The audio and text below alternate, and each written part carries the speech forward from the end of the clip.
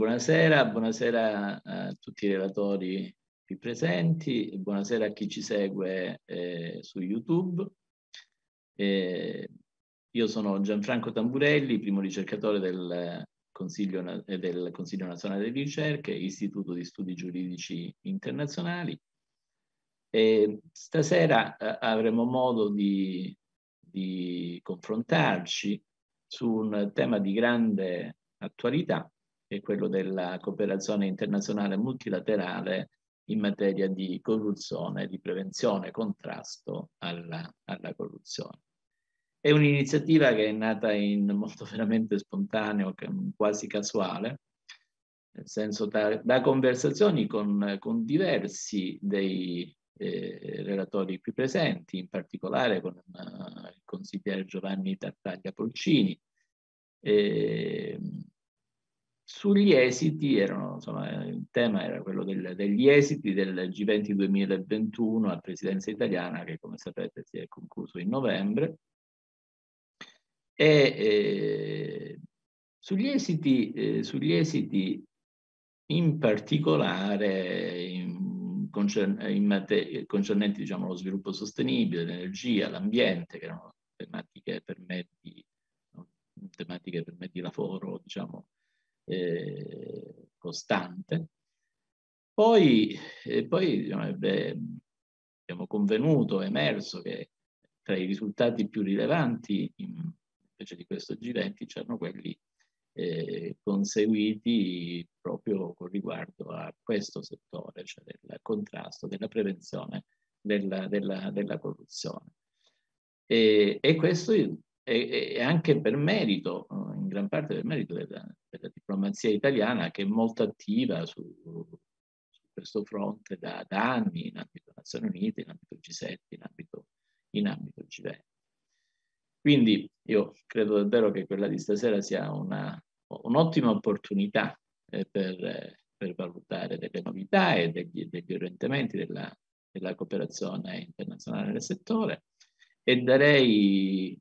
considerato il, la, il livello, la qualità, la consistenza degli, degli, degli interventi previsti, eh, darei eh, immediatamente la parola al collega amico Fabio Marcelli eh, internazionalista eh, di, di, livello, personalità poliedrica, grande esperienza. E, e anche lui, eh, devo dire, lo, lo, ringrazio, ha contribuito in quel periodo a definire eh, e poi, voglio dire, ad avviare la realizzazione di questo, di questo webinar. Caro Fabio, quindi a, a te aprire i, i lavori. Eh, due parole giusto per dire insomma che questo tema della corruzione è un tema molto importante nelle relazioni internazionali, è stato individuato come si tratta di un ostacolo al raggiungimento di alcuni obiettivi di fondo che la comunità internazionale, che come sapete è una uh, creatura abbastanza, diciamo così, come dire, a volte fantasmatica, ma insomma qualche qualche eh, linea di tendenza, sia pure vaga la enuncia, e sicuramente la lotta alla corruzione rientra in questa linea di tendenza appunto perché è ritenuta di ostacolo al raggiungimento di obiettivi altrettanto generali ma importanti come la rule of law, lo sviluppo eh, sostenibile e, ed altri. In sintesi possiamo dire che la corruzione eh, si concretizza nello sviamento eh, del perseguimento dell'interesse pubblico per soddisfare scopi di natura esclusivamente eh, privata. Questa può essere una prima definizione molto tentativa di questo fenomeno, per combattere il quale la comunità internazionale ha provato a dotarsi eh, di alcuni strumenti, fondamentale la corruzione approvata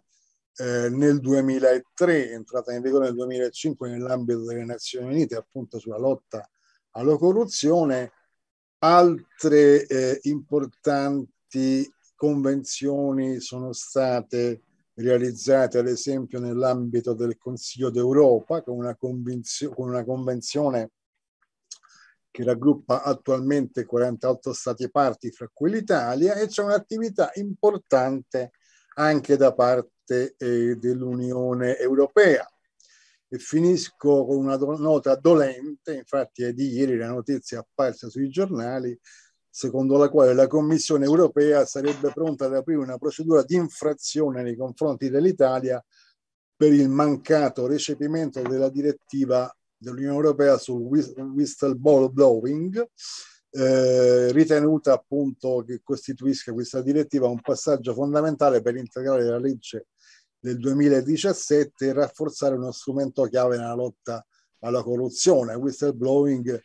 che appunto, come sappiamo, eh, significa eh, la, le rivelazioni eh, che giungono all'interno stesso delle organizzazioni coinvolte nella commissione di determinati illeciti, in questo caso illeciti di corruzione, ma anche illeciti probabilmente di altro tipo. Ecco, il fatto che l'Italia non abbia recepito questa, eh, questa direttiva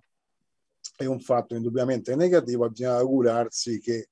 eh, nel momento in cui il PNRR, sul quale siamo impegnati molto anche come istituto,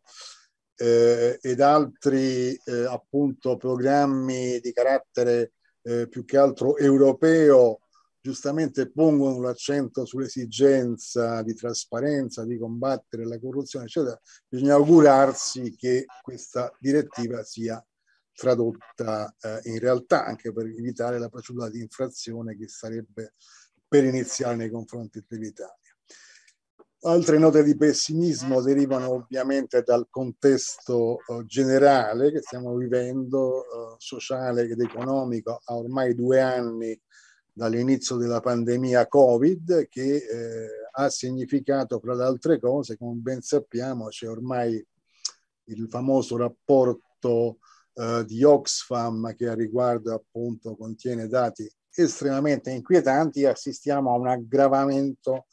eh, notevole delle diseguaglianze sia su scala nazionale nei vari paesi sia su scala internazionale. È ovvio che questo aggravamento delle diseguaglianze costituisca a sua volta un incentivo eh, eh, alla corruzione, così come incentivi alla corruzione possono derivare da determinate politiche di privatizzazione dei servizi pubblici e più in generale dall'aumento della potenza di fuoco, per così dire,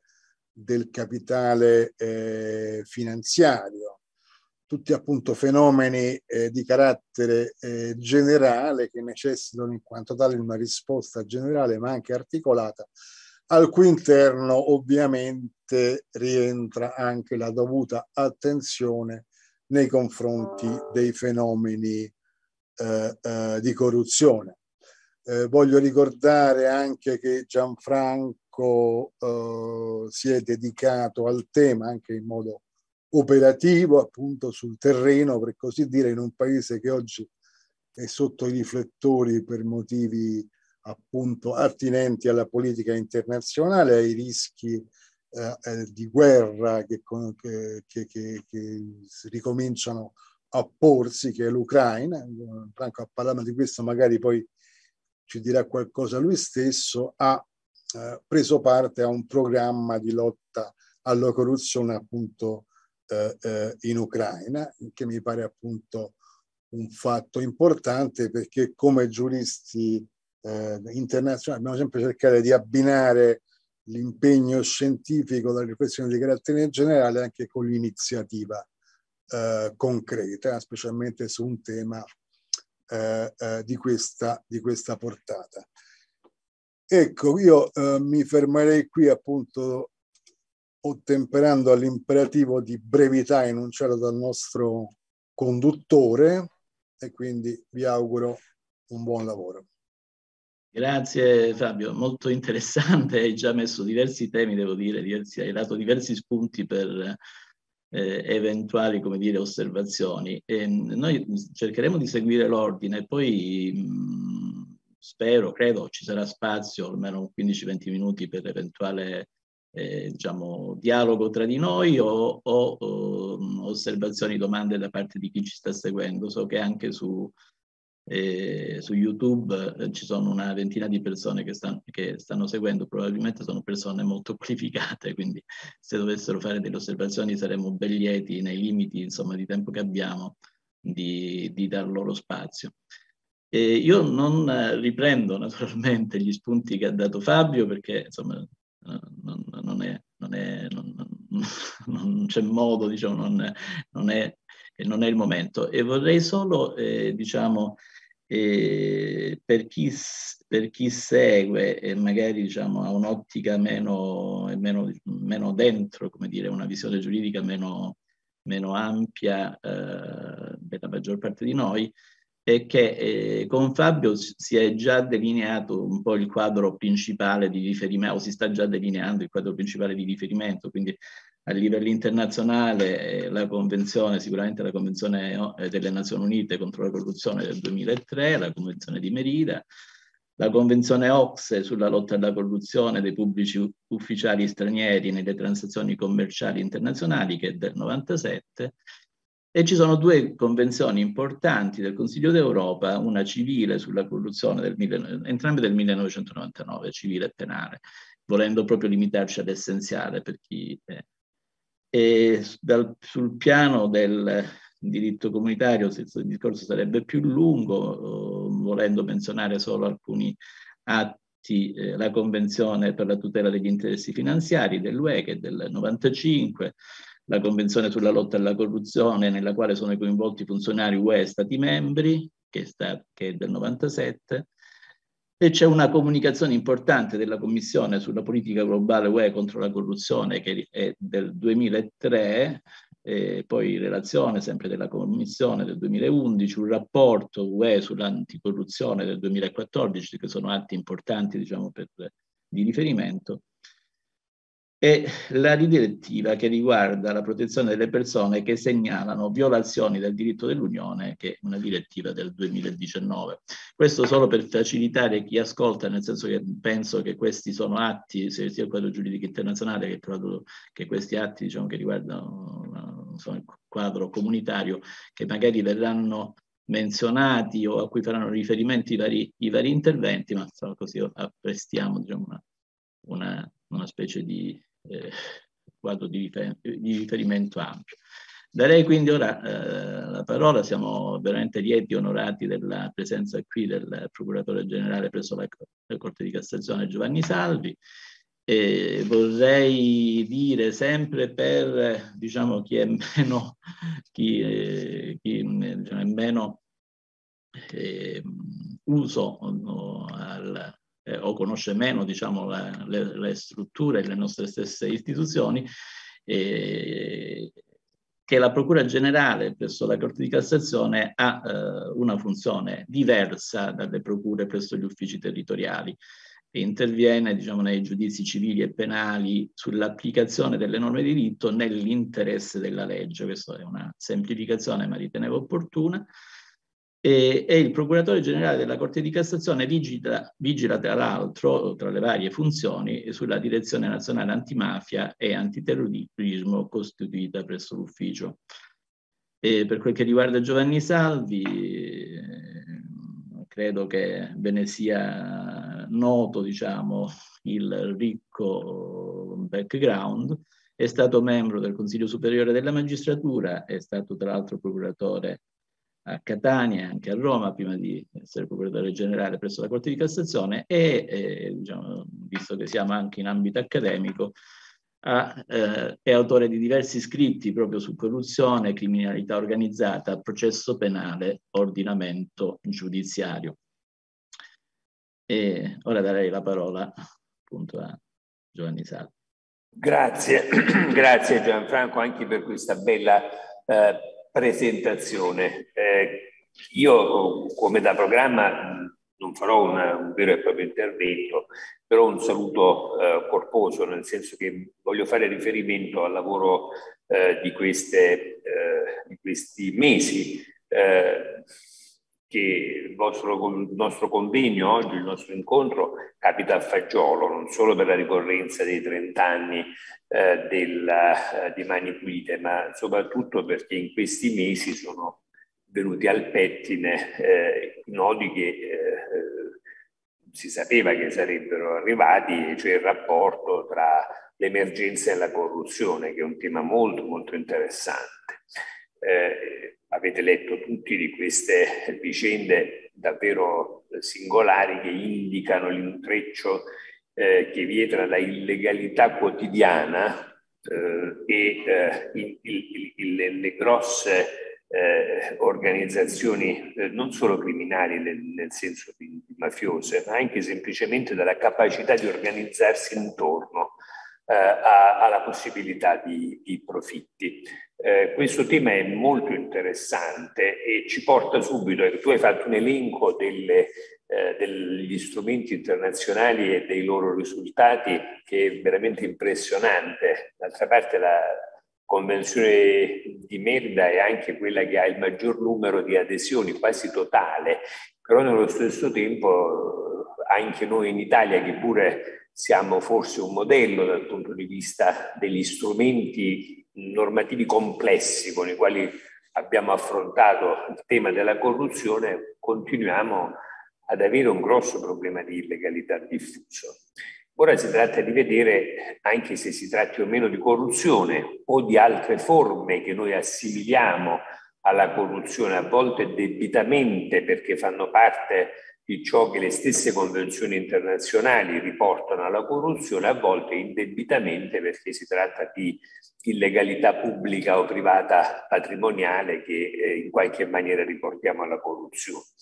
Qui molto interessante è eh, avere qui con noi oggi Giovanni Tartaglia Polcini, che è un esperto non solo di questa materia, ma soprattutto di quello che è un tema che l'Italia ha posto, credo proprio l'Italia ha posto eh, all'attenzione della comunità internazionale, cioè gli strumenti di misura eh, dell'effettiva corruzione e del contrasto alla corruzione. Tema fondamentale per capirci, perché per decidere bisogna conoscere, cosa eh, scontata, riprendiamo tutti quello che ha detto Inaudi, eccetera, poi in realtà eh, molto poco praticata, come se voi eh, avete interesse a leggere la relazione che la Procura Generale ha fatto per l'anno giudiziario potrete vedere come noi riteniamo che i dati che sono stati forniti, che riguardano eh, in particolare alcuni aspetti fondamentali del sistema giudiziario che hanno orientato il decisore, sono, sono radicalmente errati. Eh, abbiamo avuto anche conferma successiva di questo errore. Già nel 2020 ponemmo il problema di un sistema di conoscenza del dato eh, che fosse adeguato, che fosse tale da consentire poi le scelte decisionali. Ecco, eh, Tartaglia Polcini già da tempo, da anni, ha posto questo, questo tema che ora è diventato eh, tema del, centrale della comunità internazionale. Eh, e quindi io tra l'altro finalmente mi potrà spiegare, spero di, di, di essere ancora eh, con voi perché come Gianfranco sa, io dovrò andare via, mi potrà finalmente spiegare da dove viene il paradosso del Trocadero o di Trocadero. Eh, quindi finalmente saprò eh, non che cosa significhi che l'ho capito e che forse riporta in qualche maniera anche a paradossi logici più antichi come quello del mucchio eh, eh di riso dove, eh, o, o, di sabbia Dov'è il, il, confine tra il mucchio e le molte particelle? Non è possibile individuarlo. Tu sottrai eh, un, un, chicco di riso, ad un certo punto il mucchio diventa individualità, con le, più individualità o viceversa. Questo ci porta a questioni che riguardano però anche quello di cui si occupa Giovanni Tartaglia Polcini, e cioè eh, come facciamo ad avere un linguaggio condiviso della comunità internazionale per misurare i livelli di corruzione. Noi abbiamo uno, una, un apparato eh, sulla carta straordinario, perché andiamo dai livelli di audit dell'autorità nazionale anticorruzione eh, fino a strumenti penali eh, eh e processuali molto forti, strumenti di prevenzione molto forti, audit previsti per le imprese molto forti, responsabilità dell'impresa che è diversa da quest'altro profilo e mi dispiace che non ci sia per un suo grave lutto personale non ci sia Pasquale Finiani perché aveva preparato so, una relazione proprio sulla differenza tra questi aspetti. Ecco, quindi eh, avete individuato un tema che, che, è fondamentale e a mio parere però, ritornando a quello che vi dicevo all'inizio, la moltiplicazione degli strumenti internazionali in questo tema non ha poi portato eh, effettivamente ad una eh, capacità di, di, di reazione. Io credo che ciò dipenda molto dal fatto che la corruzione nei suoi diversi aspetti, in questo caso io inserisco anche l'illegalità diffusa, che è il presupposto su cui poi si fonda anche i profili corruttivi più complessi, quelli che riguardano per esempio gli appalti pubblici, quelli che riguardano le interferenze nel, nei processi decisionali pubblici a scopo patrimoniale. Eh, ecco, l'illegalità diffusa è quello che ha portato a questo dato che veramente è sconcertante. Noi avevamo per la verità come Procura Generale segnalato che vi era questo rischio. Già nel, nel 2021 avevamo segnalato per esempio problemi rilevanti dalla, dalla, nel 2020, per la verità, dalla diversa formulazione del 362 bis rispetto al 362 ter. Sono anche questi piccoli particolari che poi incidono sulla capacità di reazione del sistema, ma è sconvolgente, veramente sconvolgente apprendere che la sola Procura di Roma ha sequestrato un miliardo di euro eh, di, eh, di, eh, eh di, di eh, crediti eh, per operazioni inesistenti che sono stati scontati presso diversi operatori e poi sono finiti a Cassa Depositi e Prestiti e Poste Italiane in larga parte. Ecco, io credo che ci debba fare molto riflettere questo, perché uno strumento che non ha con, considerato il livello di illegalità diffusa che c'è nel nostro paese, ha consentito, proprio con un pregiudizio rispetto al controllo, ha consentito questo sfruttamento che ci, ci crea un sacco di problemi. Io mi avvio rapidamente a concludere, però eh, eh, con una piccola precisazione rispetto alla che è importante, rispetto alla precisazione che ha fatto, alla descrizione dei compiti della Procura Generale che ha fatto eh, Gianfranco Tamburelli. Eh, sì, noi abbiamo un compito di vigilanza e non di intervento diretto, rappresentiamo il pubblico ministero davanti alla Corte ma in realtà dal 2006, quindi già da 15 anni, sono stati attribuiti alla Procura Generale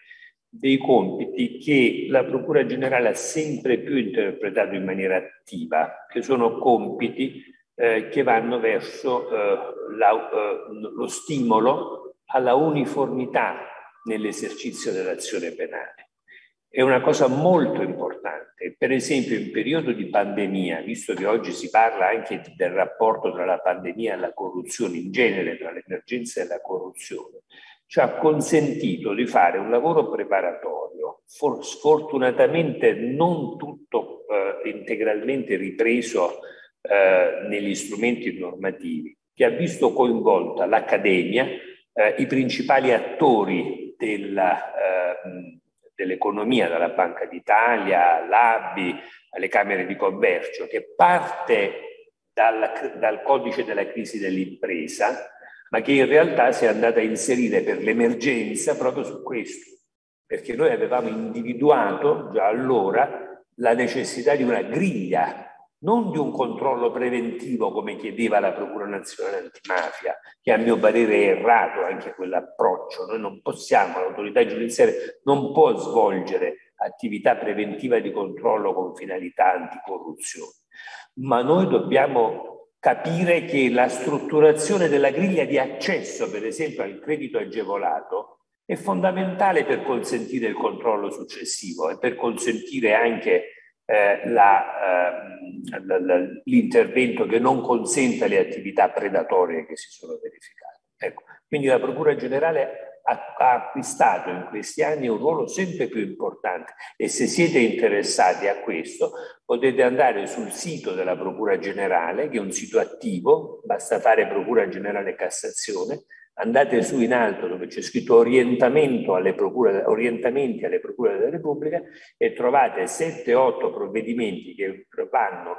dalla, ehm, dalla questione relativa alla, al mutamento dei criteri di responsabilità nel settore sanitario derivante dalla pandemia, eh, fino appunto alla crisi di impresa e, e, e, a questi aspetti, passando attraverso tante altre interessanti questioni. Quindi questo è utile anche per capire, e a mio parere si inserisce bene in questo discorso, che noi abbiamo bisogno in un sistema qual è il nostro di decentralizzazione del potere giudiziario, che è un potere diffuso anche nel pubblico ministero, abbiamo però bisogno di momenti di centralizzazione di controllo, non solo di controllo, ma anche di direzione centralizzata del pubblico ministero che rispetti l'autonomia dei singoli magistrati e degli uffici, ma sia in grado di impostare una politica eh, criminale, o meglio, di eh, adempiere correttamente alla politica criminale dandovi piena attuazione. Vi ringrazio. E, ehm, le questioni, quindi le, le, questioni poste da questo intervento sono ancora sono, sono, sono, sono diverse, eh, alcune che si connettono appunto al ruolo della Procura Generale stessa, alcune questioni di grande attualità. E, io ne vorrei riprendere velocemente solo, solo, solo una, eh, la questione delle, delle effettività poi delle, delle convenzioni inter, internazionali, eh, che è un problema diciamo, che non è, non è, solo sicuramente in questo settore, ma insomma di, di ta- in tanti altri settori. E in questo mi, mi veniva da pensare così, ma giusto per aggiungere qualche cosa, di qualche notazione personale che secondo me a mio avviso arricchisce sempre. E anni fa eh, eh ero in eh, Moldavia, eh, Cisinau, mm, per motivi diversi ho ottenuto due o tre diciamo, lecture, eh, università, Ministero Ambiente, ma anche Ministero della Giustizia, devo dire. E a un certo punto eh, venne invitato non so perché, perché non era proprio nell'oggetto del, del invitato, c'era la presentazione presso il Centro Nazionale Anticorruzione che era stato istituito, circa 150 di, eh, funzionari, 150 dipendenti presso il centro istituito a, a Cisinano, e, e, la, e, veniva costituito anche diciamo, una specie di eh, gruppo giovanile collegato al centro, di movimento giovanile anticorruzione coll- collegato al centro corruzione che a sua volta era stato finanziato dall'Unione Europea e istituito nel quadro degli accordi internazionali. Naturalmente, beh, naturalmente, non naturalmente, accompagnandomi lì dei professori e dei colleghi esperti, un po' sorridevano perché non avevano avuto ancora grandi riscontri diciamo, in termini di efficacia della lotta, della prevenzione della corruzione, dall'esistenza ormai da anni di questo centro ben finanziato con 150 funzionari che stava attivando, stava lanciando una nuova iniziativa. Questo per dire, insomma, è un problema che indubbiamente c'è e c'è anche poi quando si va, insomma, anche quando si apprestano a livello nazionale delle istituzioni o dei sistemi che dovrebbero essere in attuazione o per il perseguimento di finalità, diciamo, stabilite negli accordi o nelle normative internazionali. Ora, prima di dare la parola alla prima relatrice eh, della serata, Nicoletta Parisi, eh, io non posso non dare per un momento la parola a Giovanni Tattaglia Porcini, perché sul paradosso di Trocadero mh, mm, bisogna chiarirsi le idee subito, perché altrimenti penso lo disturberà anche nell'intervento successivo.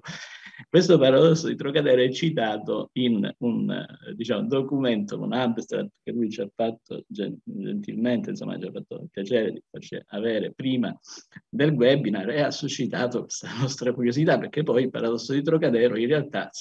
mm, facendo qualche ricerca su internet si capisce che è, originato dalla penna dello stesso Giovanni Tartaglia Puccini o mi sbaglio e comunque insomma visto che ci siamo. Grazie al professore Tamburelli, grazie per um, questo invito e vado dritto al punto e poi riservo i saluti a tutti all'intervento previsto in scaletta successivamente. nasce il paradosso, si chiama innanzitutto di Trocadero per rispondere alla curiosità del procuratore generale che saluto e ringrazio, semplicemente per una questione diciamo, di localizzazione geografica, perché l'Ocse ha la sua sede nel sedicesimo distretto a Parigi e eh, per raggiungere la quale io facevo lunghe passeggiate e proprio dove c'è il, questa splendida piazza che dà sulla Torre Eiffel. E dopo un incontro eh, diciamo abbastanza duro nei contenuti avuto con alcuni rappresentanti di Transparency International che erano intervenuti nella sessione del Working Group on Bribery dell'Ocse che ehm, si occupa appunto della lotta alla corruzione pubblici ufficiali stranieri nelle transazioni economiche internazionali, ehm, ebbi modo di riflettere su alcune affermazioni fatte in quella sede che eh, riguardavano il nostro paese e eh, diciamo erano i tempi del cosiddetto rating ehm, particolarmente penalizzante eh, che ci poneva come fanalino di coda in Europa eh, sul piano della cosiddetta corruzione percepita. E ehm, uh, ci fu uno scambio abbastanza vivace nel corso del Working Group on Bribery perché io chiesi contezza, siccome avevamo avuto un rating simile in alcuni paesi africani e, e diciamo a mio avviso un po' penalizzante, quale fosse il metodo di riferimento utilizzato da quell'organizzazione internazionale, insomma ci soffermammo sul tema della percezione e quindi mi domandai quale potesse essere la ragione, anche a fronte di quello che era avvenuto nel nostro paese, non tanto dal 1992 quanto dal 2012, dalla legge Severino, dall'istituzione dell'ANAC, dal rafforzamento dei poteri dell'ANAC, da tutta un'altra serie di indicatori oggettivi sulla serietà nel contrasto al uh, fenomeno corruttivo che poi, come giustamente uh, ha notato e ha notato il procuratore generale, viene considerato un modello globale, tant'è vero che molti tendono a questi modelli oggi, molti altri paesi che sono in altra graduatoria, sempre secondo Transparency International, eh, abbiamo riflettuto um, sulle uh, possibili uh, ragioni di una simile conclusione e abbiamo presto concluso che probabilmente contrastare la corruzione in modo um, tenace e senza alcun tipo di atteggiamento volto alla tutela dell'interesse nazionale tout court, e quindi slatentizzare la corruzione, la criminalità, i fenomeni criminali, cosa che nel nostro paese avviene ed è, è indubitabile, comunque incide sulla percezione della corruzione. Per questo è un paradosso, perché eh, sintetizzando, più la combatti, più la rendi percepibile. Chiaramente in un paese come il nostro, nel quale la magistratura ha una indipendenza addirittura costituzionale, fino anche nella componente inquirente e requirente, abbiamo la obbligatorietà dell'azione penale, che è pure un formante notevole e significativo in termini di formazione della percezione sui fenomeni e poi abbiamo anche una consistente libertà riconosciuta e praticata dai mezzi di informazione sui fatti di giustizia, tutti questi formanti danno luogo a dei risultati che forse dovrebbero essere considerati, soprattutto quando si raccolgono dati solo percettivi.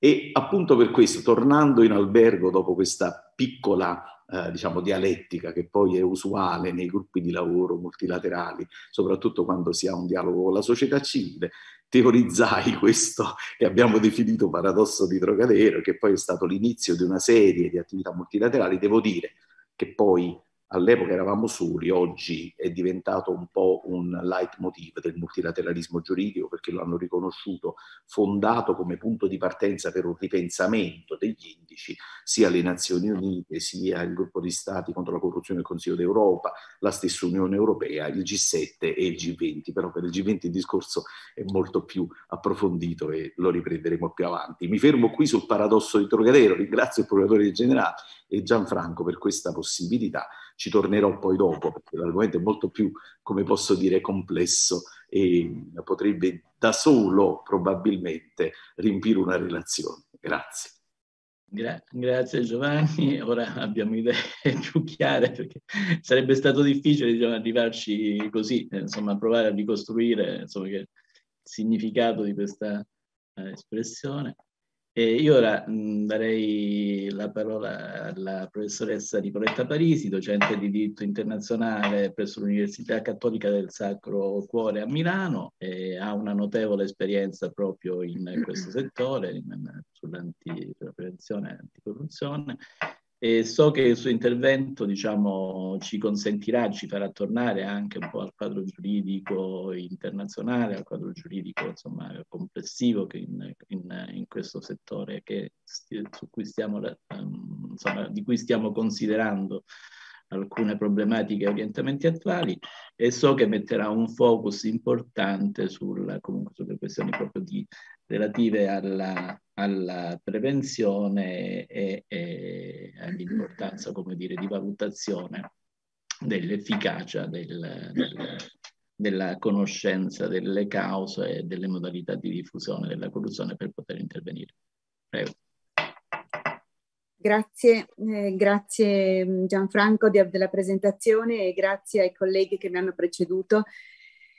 che ho ascoltato con molto piacere e mm, come sempre dovrò tagliare alcuni punti per cercare di non essere troppo ripetitiva, ma soprattutto saluto con grande piacere Giovanni Tartaglia Polcini, col quale ho condiviso tanto lavoro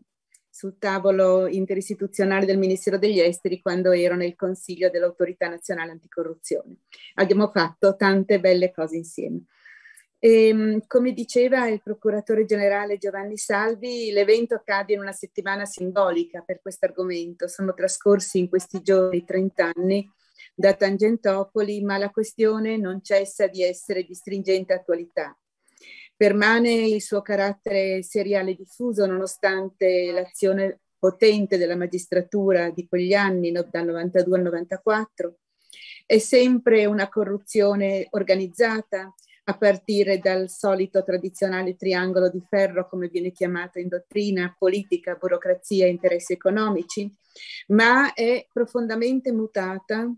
eh, morfologicamente rispetto a 30 anni fa. Eh, è mutato il peso e il ruolo degli attori che sono coinvolti. Interessantissimi studi che sono usciti in questi ultimi anni, da quello di Sciarrone, Vannucci, Della Porta, ci segnalano come il potere politico che allora era il motore, che è stato il motore di, Tangentop- di quel fenomeno che poi abbiamo chiamato Tangentopoli, da motore politico adesso è diventato strumento, non più la centralità dei partiti e delle loro correnti, ma una corruzione policentrica, reticolare, frammentata, non meno pericolosa perché in realtà vede l'infiltrazione della criminalità organizzata e non, che governa spesso uh, le condotte il reticolo e le reti eh, politiche, burocratiche, professionali e criminali. Come ha detto Giovanni Salvi oggi, ma come anche ha dichiarato qualche giorno fa, la mafia ha abbandonato la violenza esercitata platealmente e rimane tante volte implicita, l'ha abbandonata a favore di metodologie meno appariscenti ma più efficaci nell'attuale contesto. E come aggiunge Don Ciotti presentando un rapporto molto interessante mh, mm, che è stato pubblicato dall'Espresso in questi giorni, in parte eh, una inchiesta con Demos che si intitola Corruzione e la banalità del male, prevale in questa epoca storica mh, nella corruzione, prevale la mafia imprenditoriale di basso profilo, ma ben più potente perché è inserita nei gangli dell'economia, quindi magari meno trasparente, meno evidente. E come diceva il procuratore generale, sono tantissimi gli allarmi lanciati, soprattutto in un momento storico-politico così importante come quello del PNRR. Momento storico e politico importante che vede l'Unione Europea stanziare non solo con i PNR nazionali, ma con il quadro finanziario pluriennale e con altre azioni quali il, il REACT EU, la bellezza di 2080 miliardi nell'arco di un periodo dal 2021 al 2027. E tanto per continuare nelle citazioni, lo diceva Giovanni Falcone, se segui il denaro trovi anche le condotte di corruzione. E tant'è vero, tant'è vero che su quel bonus fiscale di cui già ci parla, parlavate voi oggi, eh, bonus fiscale per l'edilizia, mh, 38 miliardi stanziati, oltre al miliardo eh, che la mh, Procura di Roma, che interessa la Procura di Roma, ci sono altri 3,4 miliardi di crediti inesistenti presso le altre procure italiane. Quindi vogliamo dire che i provvedimenti che sono stati adottati dal mm, governo e dal Parlamento italiano sotto forma di decreto legge e poi convertiti in legge per far fronte all'emergenza ci dicono che sono provvedimenti che potremmo dire per certi aspetti criminogeni, che creano essi stessi corruzione per come sono scritti, per come vengono applicati. Le norme sono tante, come avete già detto voi. Il contesto internazionale è ricchissimo, io vorrei dare una mh, mm, eh, pennellata al contesto internazionale organizzando a sistema le fonti. Noi abbiamo un approccio olistico della comunità internazionale al contrasto alla corruzione che è olistico da due prospettive diverse. Anzitutto perché adesso con il modello importato dalla Convenzione di Merida del 2003 che l'Italia ha autorizzato la ratifica con una legge del 2009, la legge 116, e poi ha adempiuto con la legge 190 del 2012, la legge Severino, soprattutto per gli aspetti che riguardano la prevenzione, che è il capitolo secondo molto importante della Convenzione delle Nazioni Unite. Bene, questa convenzione del 2003 eh, unisce strumenti di prevenzione, strumenti di repressione, strumenti di law enforcement con una fitta rete di istituti di cooperazione internazionale. Quindi prende, cerca di, mh, di approcciarsi, di, di, di, contrastare la corruzione da tutte le varie dimensioni possibili. Ma è olistica anche da un'altra prospettiva, perché richiede al singolo paese che tutte le forze attive del paese stesso siano messe in campo e quindi si rivolge alla pubblica amministrazione anzitutto, alla pubblica amministrazione e agli apparati di giustizia e alle agenzie esecutive, ma coinvolge soprattutto nel capitolo secondo anche la dimensione della società civile, nella duplice dimensione in cui la società civile rileva tanto come singolo cittadino e cittadini nelle associazioni esponenziali di essi, ma anche come attività di impresa. Non sono poche le norme della Convenzione delle Nazioni Unite che si dirigono proprio all'attività di impresa. Pensiamo per esempio all'articolo 14 che si occupa di antiriciclaggio o pensiamo a quelle norme che prevedono la chiarezza dei bilanci, la trasparenza nei bilanci sociali delle società. E questo è uno strumento di carattere universale, sono 187 più un'organizzazione regionale di integrazione dell'Unione Europea, le parti contraenti, a cui si affia- che ha una prospettiva molto particolare perché si occupa di corruzione pubblica e alla quale si affianca mh, comple- con caratteristiche di complementarità la Convenzione OXE eh, del 1997, già citata, perché invece la Convenzione OXE si occupa anche di colpire la corruzione eh, anche il lato del privato, in quanto si dirige mh, a contrastare la corruzione nelle grandi operazioni economiche inter- internazionali quando si è coinvolto un, dipende, un ufficiale pubblico, un pubblico ufficiale o in, di uno Stato parte contraente, di un'organizzazione internazionale o di uno Stato anche non parte contraente. Il collegamento passa attraverso l'impresa. Se l'impresa nazionale si rende responsabile, corruzione attiva, non si occupa di corruzione passiva, la Convenzione OXE. Se l'impresa nazionale, di nazionalità di un paese parte contraente mette in campo una condotta di corruzione, ecco che si eh, scomoda la giurisdizione di quel paese nei confronti di quell'impresa. E poi abbiamo i circuiti regionali, africano, del sud-est asiatico, dell'America Latina e naturalmente anche europeo, che è molto ricco perché vi è la dimensione Consiglio d'Europa e la dimensione Unione Europea. Consiglio d'Europa che tra l'altro ha una stampella organica istituzionale molto forte nel greco, e che ha le convenzioni internazionali del 99 di cui ci ha parlato Gianfranco e molte risoluzioni che approcciano il problema dalla prospettiva della prevenzione. Perché quello che emerge di recente, dal 2003 in poi, è la prospettiva della prevenzione. Nella consapevolezza che non essendo diminuita il tasso di corruzione, che è rimasta diffusa, seriale, invasiva, Evidentemente i mezzi della repressione approntati dalle altre convenzioni internazionali non erano bastevoli e quindi si è aggiunta la leva della prevenzione. E si è aggiunta anche un'altra prospettiva molto interessante che alcuni studiosi di scuole statunitensi hanno messo in eh, rilievo. Le convenzioni internazionali nel proprio preambolo eh, dichiarano che gli stati stipulano quella convenzione perché sono consapevoli dei danni che eh, sono determinati dalle condotte di corruzione, che sono danni, dicono questi preamboli, non soltanto economici, nel momento in cui alterano la concorrenza, impediscono anche la crescita economica e la stabilità finanziaria di un paese. Ma questi preamboli portano l'attenzione soprattutto sulla stabilità delle istituzioni democratiche, tanto interne quanto internazionali, come a dire che la corruzione rompe il rapporto di fiducia fra cittadini e istituzioni e quindi introduce quel germe che poi fa nascere i populismi e comunque i movimenti eversivi.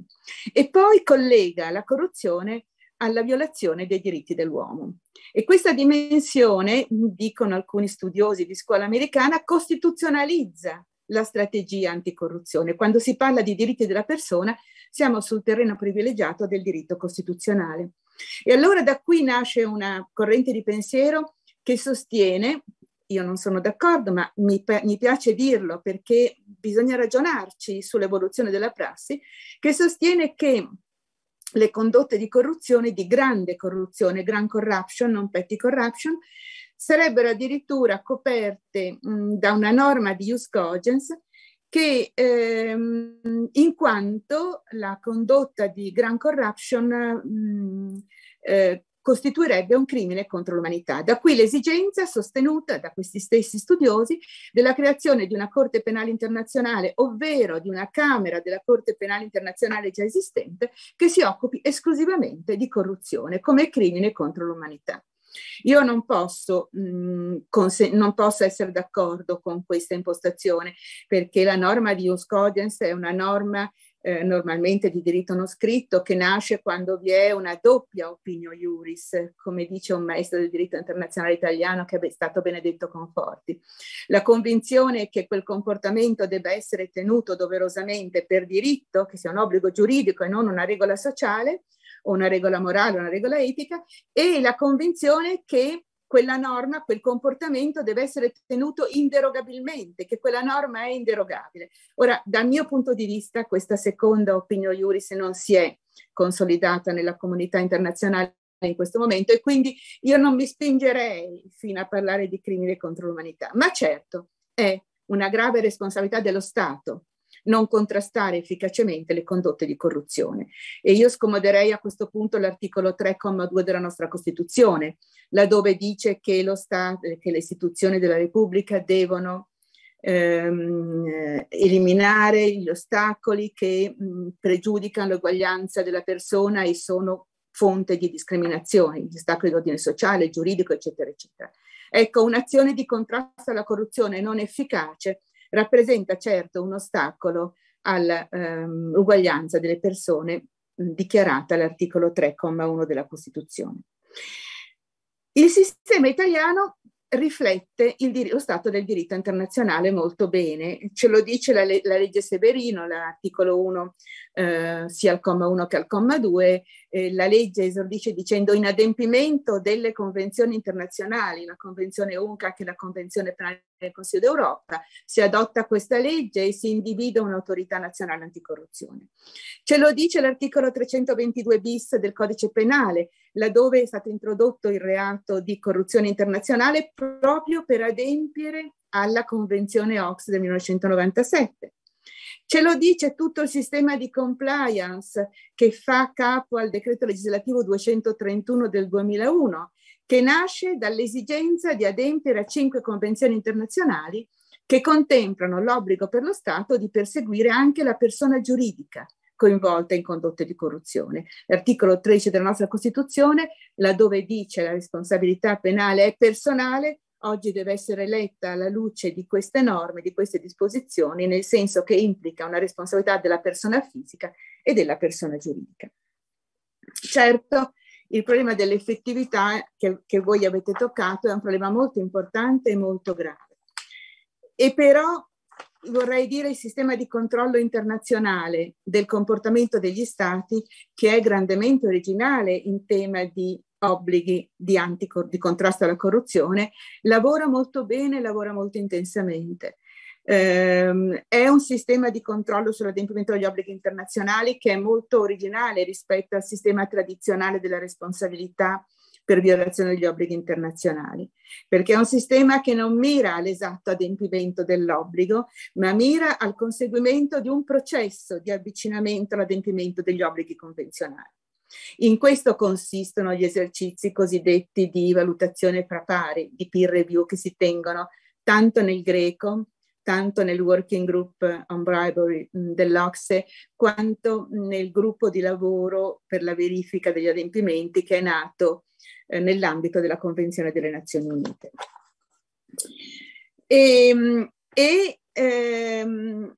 è sintomatico come gli stati tendano a cercare di adempiere alle raccomandazioni contenute nei rapporti di peer review, il che vuol dire che le organizzazioni internazionali esercitano una certa autorevolezza in materia vorrei toccare in questi pochi minuti che mi mancano il discorso della prevenzione. Quindi la prevenzione è la novità di questo nuovo millennio. E ehm, lo è ed è stata adempiuta in tutti gli stati grazie alla messa in campo di strumenti di diritto amministrativo. Strumenti di diritto amministrativo che ehm, nella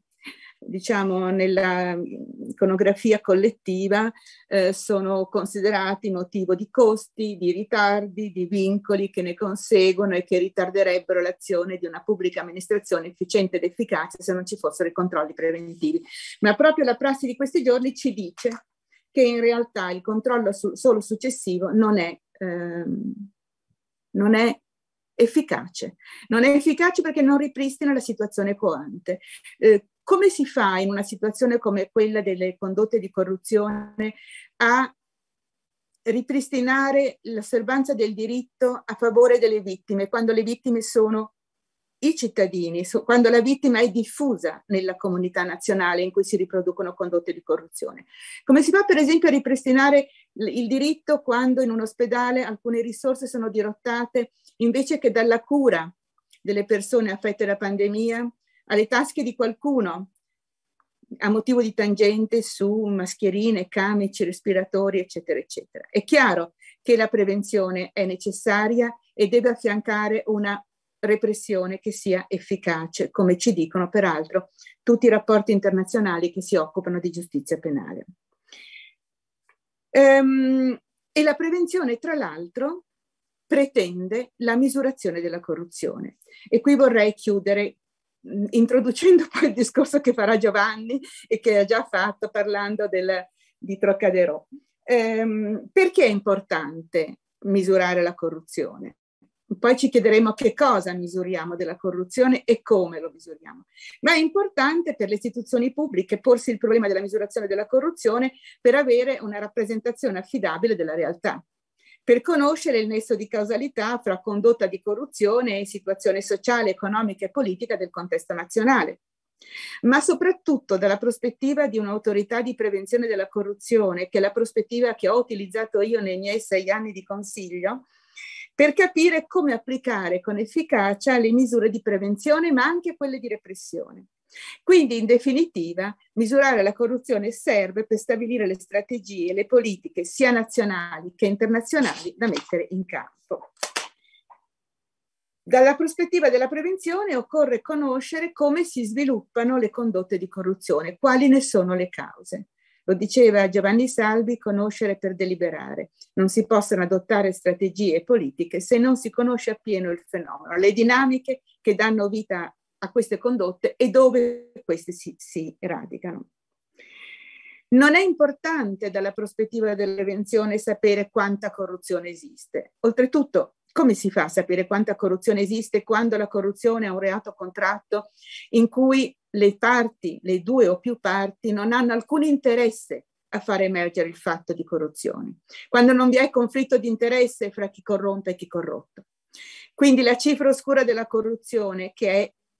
la parte dell'iceberg non emersa, quella che non vediamo, è inconoscibile e non misurabile. È una cifra oscura, dicono gli studiosi, molto importante, è inutile quantificarla, non, possono, non è utile fare delle, dei rating internazionali di graduatorie per stabilire chi è buono, chi non è buono. Invece è importante porsi il problema di dove nascono preferibilmente le condotte di corruzione, perché lì può applicarsi tanto la vigilanza delle istituzioni nazionali e internazionali, quanto l'attività di regolazione sia di primo livello del Parlamento, del governo, sia di secondo livello delle autorità di vigilanza, per adottare per esempio linee guida, bandi tipo, capitolati, che contengano clausole capaci di scoraggiare e di abbassare il rischio della corruzione. Quindi, dal, dalla prospettiva della prevenzione, la corruzione è misurata da due diversi aspetti eh, e qui il diritto internazionale ci aiuta. È misurato il rischio di corruzione ed è misurata l'efficacia delle misure di abbassamento del rischio, ovvero l'efficacia di quegli strumenti amministrativi della cui pesantezza ci si lamenta, per capire se servono se devono essere abbandonati, se devono essere migliorati, se non servono del tutto. La percezione e l'esperienza, cioè gli indicatori esperienziali e di percezione, possono servire per contribuire a dare una migliore rappresentazione della realtà, ma non sono eh, essi stessi dei misuratori della corruzione. Sono semmai dei misuratori della fiducia che i cittadini hanno nelle proprie istituzioni, perché ci dicono che se le istituzioni sono corrotte, il cittadino pensa di potersi, poter utilizzare altri sistemi per raggiungere gli scopi che deve raggiungere, per procurarsi una patente, per raggiungere un medico rapidamente. Io mi fermo qui perché vedo che i miei 20 minuti a disposizione sono terminati e sono aperta a domande che vorrete fare per approfondire soprattutto quest'ultimo punto che ci porta a capire quali sono gli indicatori di rischio corruzione, quali sono quelle bandierine rosse, le red flags, come dice l'Ocse, come dice, dicono le Nazioni Unite, che devono essere messi per esempio su certe procedure di appalto, su certi snodi, su certi anelli delle procedure per presidiarle meglio. Vi ringrazio dell'attenzione. Grazie, grazie. Eh, anche questo diciamo, è un intervento che interessante in particolare, ma non solo per gli internazionalisti, per così dire, perché sai, ci sono state delle osservazioni, anche delle proposte molto, anche diciamo con una valenza tecnica rilevante. E, ehm, io prima di passare, la, passare, alla relazione di Giovanni Tartaglia Polcini, che tra l'altro è un po' il cuore per certi aspetti della, della, della, della giornata, e, mh, proprio perché la passa, a lui, la passa a lui la parola, vorrei dire, mh, fare solo due osservazioni. Sul, vi dicevo che questa iniziativa nasce da una serie di conversazioni e nasce in realtà eh, un, un, aspetto che comunque mh, vorrei che fosse con, incluso diciamo, tra le tematiche diciamo, de, che noi oggi affrontiamo. Nasce dalla eh, curiosità di, di confrontarci eh, sui uh, risultati del, del, G20, ma inizialmente diciamo, era una mia curiosità i risultati del G20 per quel che riguarda il tema sviluppo sostenibile, ambiente, energia. E come insomma voi, eh, come tutti sappiamo, eh, l'agenda, 2000, eh, l'agenda ONU sullo sviluppo sostenibile eh, diciamo, eh, considera anche le questioni di, o in parte insomma le questioni di cui stiamo parlando. Eh, menzionerei solo il goal 16 del, del, dell'agenda, la necessità di ridurre in modo significativo la corruzione e gli abusi di potere in tutte le loro forme. E, e, poi naturalmente questo è articolato, quindi l'abbiamo anche come una finalità importante nell'agenda eh, ONU sullo sviluppo sostenibile. E ehm, per curiosità devo dire prima di questo incontro sono andata a vedere il rapporto 2021, quindi l'ultimo del High Level Political Forum sullo sviluppo sostenibile del, delle Nazioni Unite, per vedere se in questo rapporto, diciamo che è preparato e predisposto dal segretario generale delle Nazioni Unite prima di questo forum annuale, che è quello in cui poi si eh, fa un po' sì, il punto della situazione per quel che riguarda l'attuazione dell'agenda eh, dell'agenda ehm, per l'ONU sullo sviluppo sostenibile, beh, se, se, se, diciamo in qualche modo veniva preso in considerazione il tema corruzione, e sì, è preso in considerazione. Non devo dire, non è dedicato molto spazio, ma eh, eh, c'è qualche osservazione. In realtà c'è qualche osservazione sul fatto che il fenomeno, eh, il fenomeno, se lo vogliamo chiamare fenomeno, eh, appare di eh, gravità eh, enorme soprattutto nei paesi in via di sviluppo, cioè ci sarebbe una differenza in questo senso ancora notevole diciamo, no, tra eh, il, la, la, diffusione e la gravità del fenomeno corruzione nei paesi sviluppati e nei paesi in via di sviluppo. E, ehm, detto ciò, perché ci, insomma, a cui tenevo, voglio dire pure, sempre per collegare, sempre su questa cosa, che è sempre, se, se, noi guardiamo al preambolo della Convenzione Nazioni Unite eh, sul, sul, sul, tema, e quindi diciamo guardiamo un attimo ai principi su cui si, si basa questo sistema olistico cui faceva riferimento eh, la professoressa Parisi prima, noi abbiamo tra i, il prima, prima linea, o forse addirittura il primo, che gli Stati parte alla Convenzione diciamo, sono preoccupati della gravità dei problemi posti dalla corruzione e della minaccia che essa costituisce per la stabilità e la sicurezza della società, minando le istituzioni dei valori democratici, i valori etici e la giustizia e compromettendo lo sviluppo sostenibile e lo Stato di diritto. Quindi questo fatto, del, del, eh, tra l'altro, del compromettendo lo sviluppo sostenibile lo abbiamo nel non in tutte le convenzioni che che abbiamo considerato, ma nel preambolo della Convenzione delle Nazioni Unite c'è. Quindi fatta questa, un attimo aperta questa finestra alla quale tenevo personalmente, e ora eh, darei la parola al consigliere eh, Giovanni Tartaglia Polcini, magistrato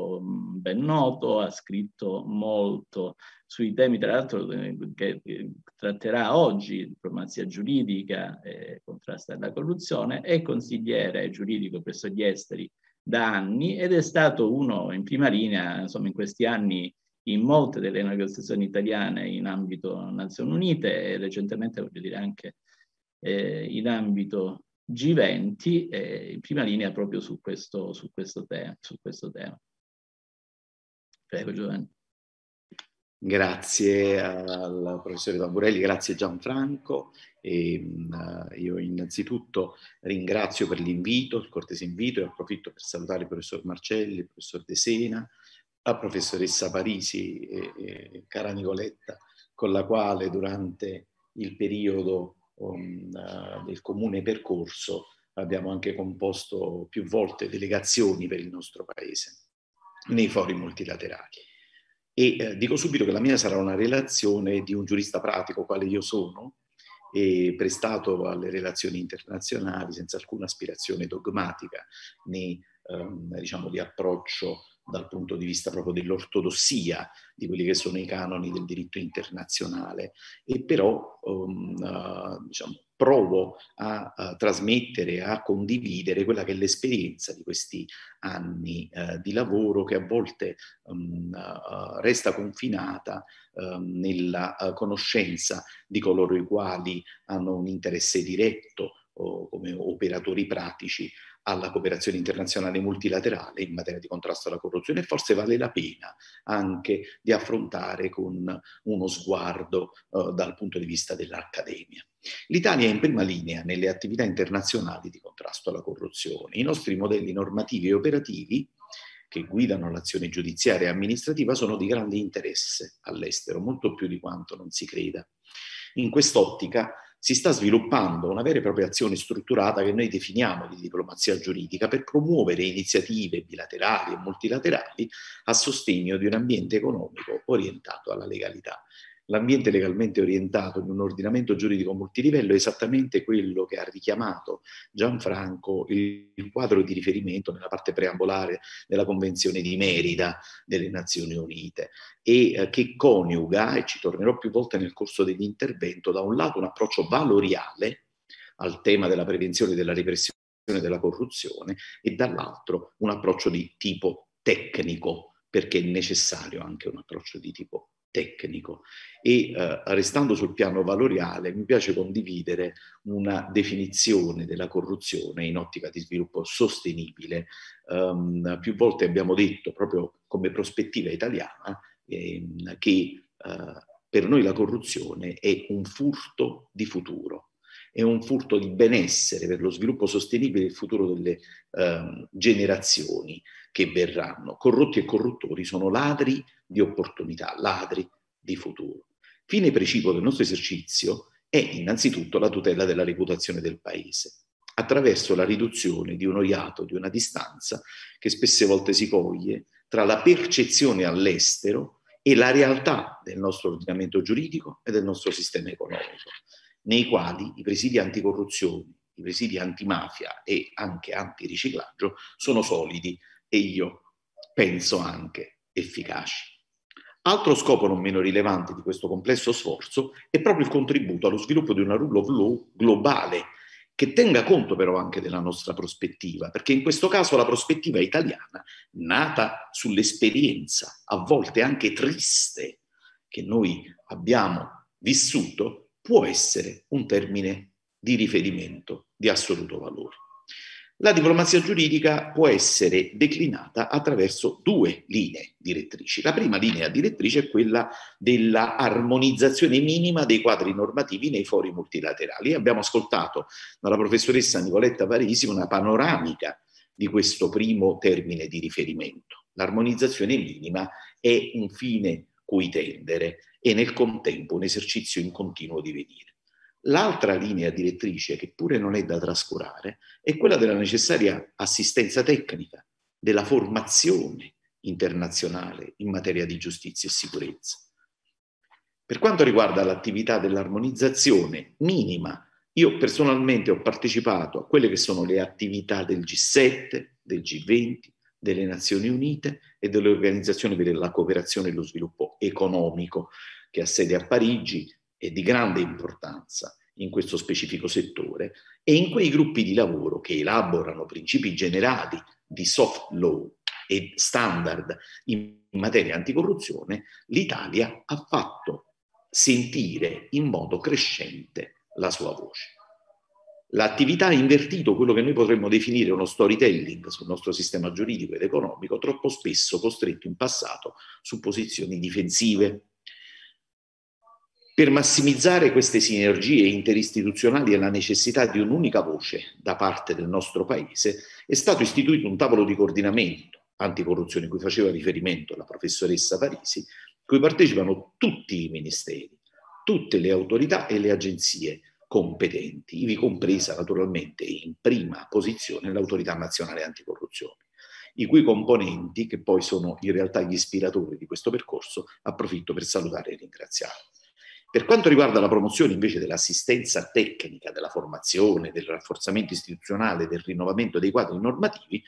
farò cenno a questo nuovo capitolo dell'Italia nel mondo. L'Italia è un modello di riferimento per la capacity building anticorruzione, antimafia ed antiriciclaggio. Spesse volte non lo si dice abbastanza. I nostri esperti sono i più richiesti al mondo. Non riusciamo a volte a rispondere in tempo e in modo efficace, non per cattiva volontà, ma per il numero di richieste che ci vengono rivolte di condivisione dei nostri modelli e delle nostre esperienze. Vedete come da un lato i valori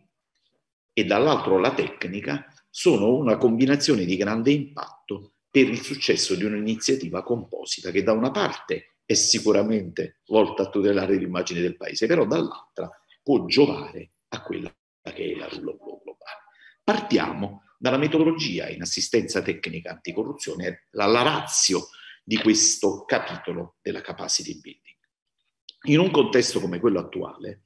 la cooperazione giudiziaria di polizia, per quanto efficiente e innegabile, non è probabilmente più sufficiente.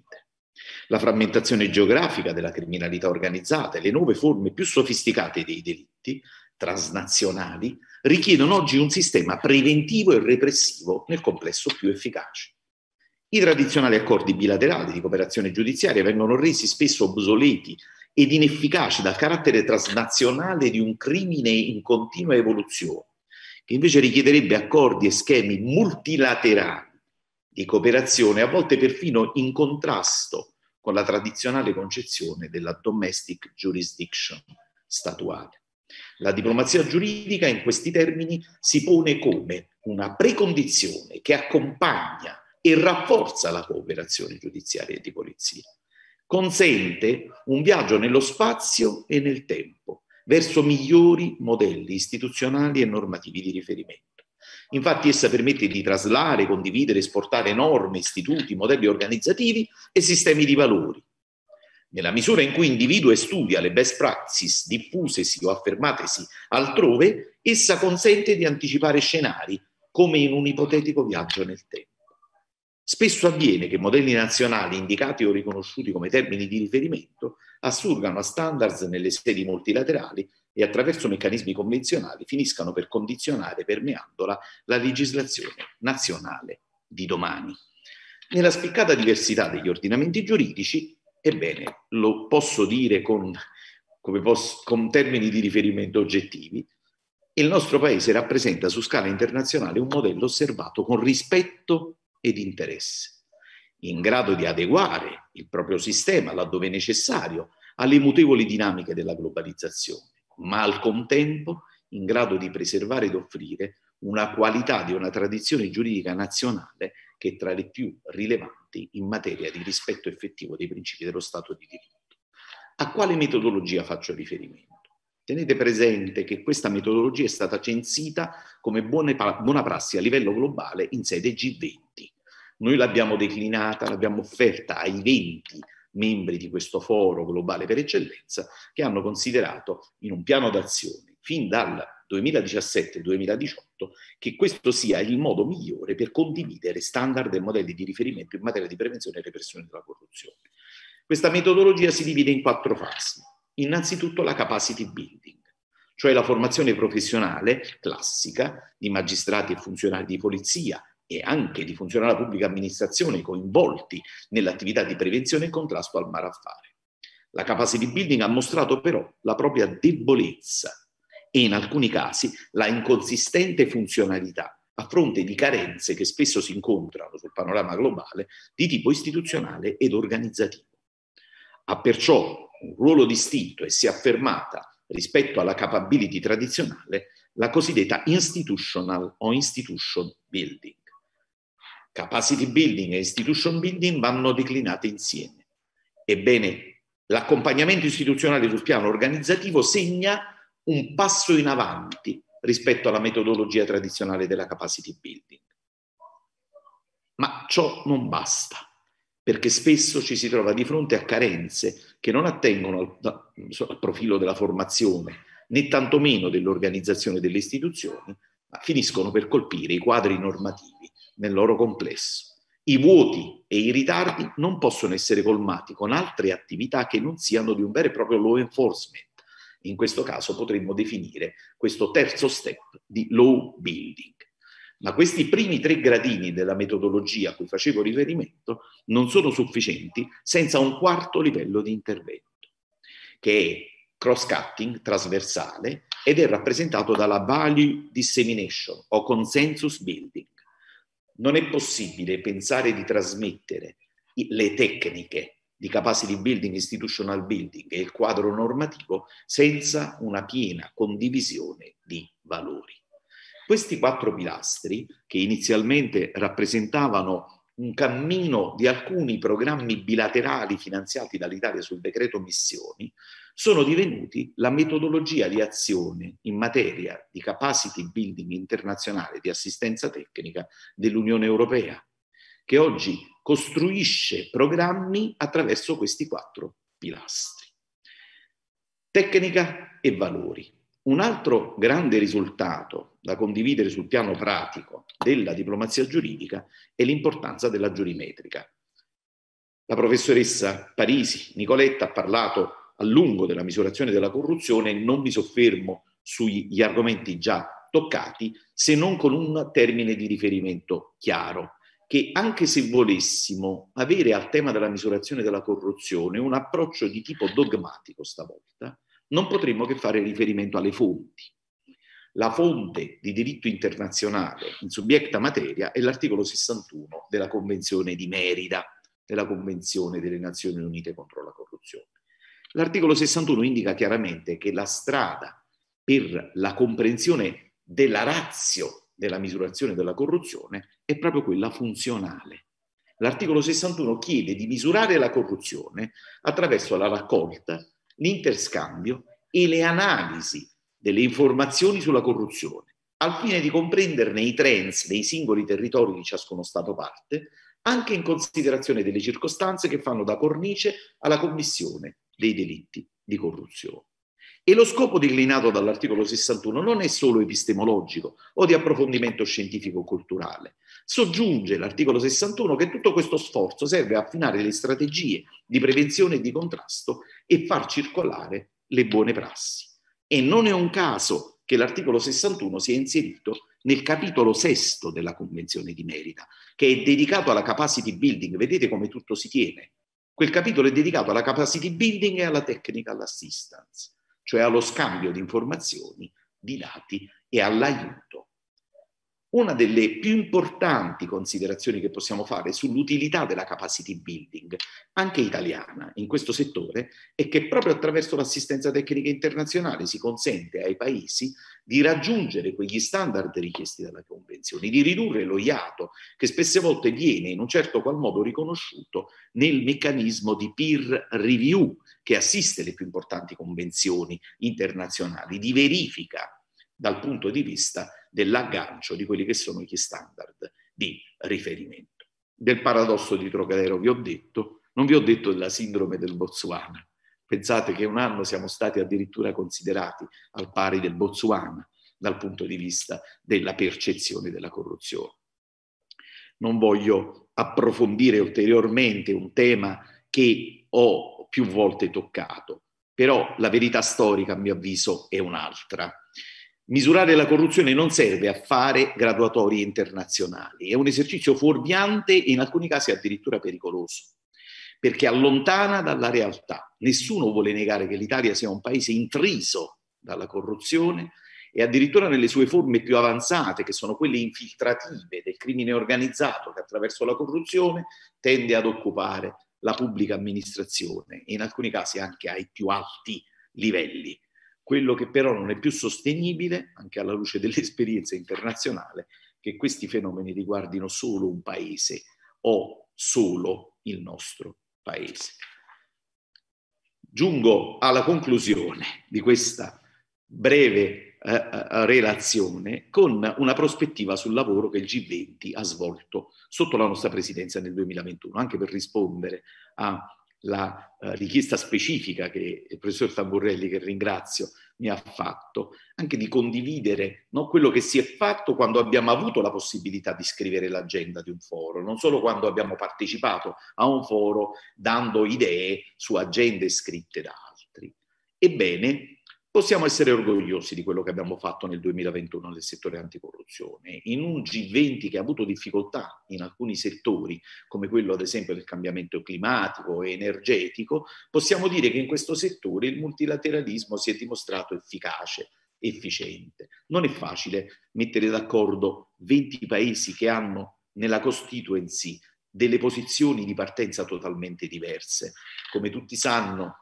nel G20 esistono schieramenti distinti, abbiamo la maggior parte dei paesi che vengono definiti like-minded, che hanno degli standard di riferimento comuni, altri paesi che invece si iscrivono ad un diverso modo di approcciare le tematiche della globalizzazione. L'Italia ha dedicato particolare attenzione al tema della corruzione, affermandone un ruolo centrale nell'agenda globale. Per richiamare quanto detto dal professore Tamburrelli, l'obiettivo 16 dei 17 dell'agenda dello sviluppo sostenibile, che è quello dedicato alla giustizia e alla sicurezza e che declina la prevenzione e la repressione della corruzione appunto come termini di riferimento, è l'unico considerato cross-cutting trasversale, cioè si dice non è possibile raggiungere nessuno degli altri obiettivi se non comunque attraverso questo obiettivo numero 16.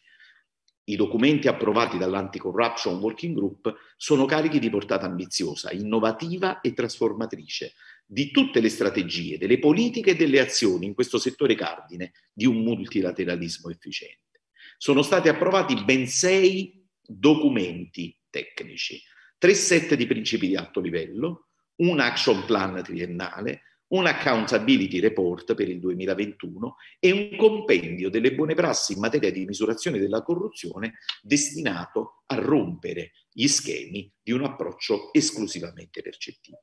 Partiamo da una panoramica sintetica degli high level principles. Come vi ho detto, valori e tecnica, tutela della reputazione del paese, prospettiva italiana, ma assolutamente alcuna volontà di nascondere quelli che sono i fenomeni pericolosi che rappresentano un freno allo sviluppo sostenibile. E il primo dei documenti che abbiamo fatto approvare dai 20 è un documento di alti principi sulla corruzione collegata al crimine organizzato. Un documento politico che è coerente con una visione olistica della corruzione, con la volontà di perseguire e prevenire efficacemente le nuove e le più sofisticate forme di manifestazione di una delinquenza corruttiva che è divenuta strumento di infiltrazione di organizzazioni criminali nell'economia e nell'amministrazione pubblica. Quando abbiamo iniziato il negoziato su questo documento, la membership del G20 ha risposto freddamente, in modo addirittura, come posso dire, oppositivo quasi che questo tipo di modalità di manifestazione della corruzione fosse un fenomeno tipicamente italiano, a fronte di una serie di termini di riferimento globali, di esempi e anche di un dibattito acceso, siamo riusciti a far riconoscere la globalità di questo fenomeno e non è una uh, cosa di poco conto. Pensate, per fare un esempio, a quello che può essere un possibile risvolto pratico di questo uh, primo documento L'Unione Europea è membro effettivo del G20. Il G20 ha 19 paesi membri effettivi più l'Unione Europea. L'Unione Europea non ha una direttiva antimafia, non ha mai adottato uno strumento come una direttiva anticorruzione. Scopo ultimo di quel documento, per chi lo ha presentato, lo ha scritto e l'ha negoziato, è quello di spingere l'Unione Europea ad una riflessione su una necessità di un quadro normativo di secondo livello in queste materie. Abbiamo anche ottenuto l'approvazione di un documento per il contrasto alla corruzione nello sport. Abbiamo profuso particolari sforzi in questo settore nelle ultime due conferenze degli Stati parte della Convenzione di Merida, poiché riteniamo che lo sport dal punto di vista economico e sociale rappresenti la nuova frontiera della corruzione, a volte non considerata adeguatamente per un malcelato eccessivo principio di autonomia che non deve mai corrispondere a impunità. Di grande impatto è anche il terzo set di atti principi, dedicato proprio alla prevenzione ed alla lotta alla corruzione nelle situazioni di emergenze, con un focus precipuo alla fase di recovery, per garantire adeguati livelli di integrità e trasparenza negli appalti e nelle procedure per la ricostruzione. E questo è un altro documento del quale andare fieri che noi stessi, noi italiani, abbiamo presentato. Vado alle conclusioni proprio effettive e finali. Nell'epoca dello sviluppo sostenibile e degli sforzi comuni per la creazione di un level playing field globale, della lotta ai paradisi normativi e della promozione di un'armonizzazione minima dei sistemi giuridici penali, la presidenza italiana ha operato in modo sicuro e forte, ottenendo un riposizionamento del Paese sullo scenario globale in questo settore, consolidando quella inversione della narrativa, dello storytelling sull'Italia e la corruzione. Sostengo e dico con uno slogan che l'Italia è sicuramente il paese della mafia più antica e pericolosa del mondo, così come della corruzione più sofisticata, ma è anche il paese dell'antimafia più robusta del mondo ed anche il paese dell'anticorruzione che fa da modello non solo per i paesi in via di sviluppo, ma addirittura per i nostri vicini. Faccio riferimento in particolare alla legge Sapin 2 in relazione a quella che è stata la nostra attività di istituzione di un'autorità nazionale anticorruzione indipendente dal potere esecutivo. La prospettiva italiana della rule of law, affermatasi nel G20, potrà certamente generare ricadute positive per il Paese sullo scenario globale. E tutto questo sicuramente avrà la necessità di un supporto e di un sostegno da parte dell'Accademia, da parte di coloro i quali sono chiamati a studiare i principi e a illustrare le regole perché no? Per creare anche una classe di giuristi prestati al multilateralismo anticorruzione nel futuro attraverso percorsi non solo pragmatici come quello che io ho in questo momento in corso, ma accademici e anche di corso di studi. Vi ringrazio tutti per la pazienza e l'attenzione e mi consegno naturalmente alle vostre domande. Grazie, grazie davvero. Eh, intervento anche questo così interessante. Non invidio il professor De Sena per le sue osservazioni finali perché ci sono stati tanti di quegli, insomma, di quegli spunti in questi interventi che veramente, insomma, tra l'altro non, non stiamo, non, non, stiamo a, non abbiamo modo in realtà di, di, di, di, aprire un confronto su tante cose, insomma, eh, che, su le quali magari possiamo anche avere delle opinioni non proprio no, corrispondenti. E io eh, devo dire, apprezzo molto eh, anche la positività del consigliere Tartaglia Pulcini, che è molta, ener- molta energia e molta, molta positività in, questo, eh, in questa attività che fa, insomma, sia sul piano così generale del, del, dell'affermazione di questo concetto e poi dire, della, della, della, della, messa in opera di questa diplomazia giuridica, insomma questa collaborazione con gli esteri forte e sia diciamo per, per, per quello che poi effettivamente insomma, l'Italia in questi anni ha fatto no? sia in ambito Nazioni Unite sia in ambito G20 insomma, su, questo, su, questo, su questo tema. E rispetto al suo intervento, io, ehm, ehm, mi sembra utile, eh, non so se riesco a condividere un attimo lo schermo, ci provo. Ecco, eh, se, si, se, se, la vedete, eh, diciamo, mi pare che lui abbia lamentato diciamo, anche il fatto che l'Unione Europea non abbia ancora eh, utilizzato oh, la possibilità che gli è data, che gli è data dal trattato e dall'articolo 83 attuale, in, base al quale il Parlamento europeo e il Consiglio, deliberando mediante direttive, possono stabilire norme minime relative alla definizione dei reati e delle sanzioni in sfere di criminalità particolarmente grave che presentano una dimensione transnazionale. E tra queste aree, appunto, terrorismo, tratta degli esseri umani e sfruttamento sessuale delle donne e dei minori, traffico illecito di stupefacenti, traffico illecito di armi, riciclaggio di denaro, corruzione, contraffazione di mezzi di pagamento e così via. E, ehm, allora ora interrompo la condivisione, se ha funzionato, e, e così diciamo abbiamo ulteriormente anche per chi segue, insomma, magari dato una, un quadro di una visione di, di insieme insomma, della, della, della, normativa internazionale europea rilevante. E io ora, eh, prima di dare la parola al professor De Sena, devo dire, ho ricevuto, non, è, non, non ha potuto partecipare all'incontro l'avvocato generale del, eh, l'avvocato generale presso la Corte di Cassazione Pasquale Fimiani, che è un magistrato insomma, di, di, di, grandissimo, di grandissimo livello che si è occupato eh, sia, di te, sia, di questi temi, ha poi ha scritto anche, devo dire, molto, ehm, però ho ricevuto da lui un eh, contributo che mi sono permesso di eh, riversare in alcune slide e eh, se me lo consentite condividerei di nuovo lo schermo e vi mostrerei queste slide perché sono, eh, parlano quasi da sole, quindi io cercherò semplicemente di eh, quasi di leggerle, nel senso sono è una sintesi molto, secondo me, molto efficace che aveva predisposto e mi sembra utile provare a, a, a utilizzarla. Un attimo solo per individuarle.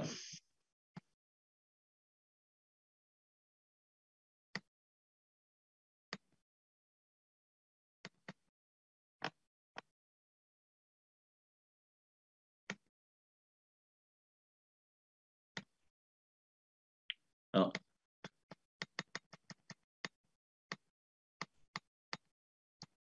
Scusate, vi ho fatto vedere molte cose, ma la mia intenzione è arrivare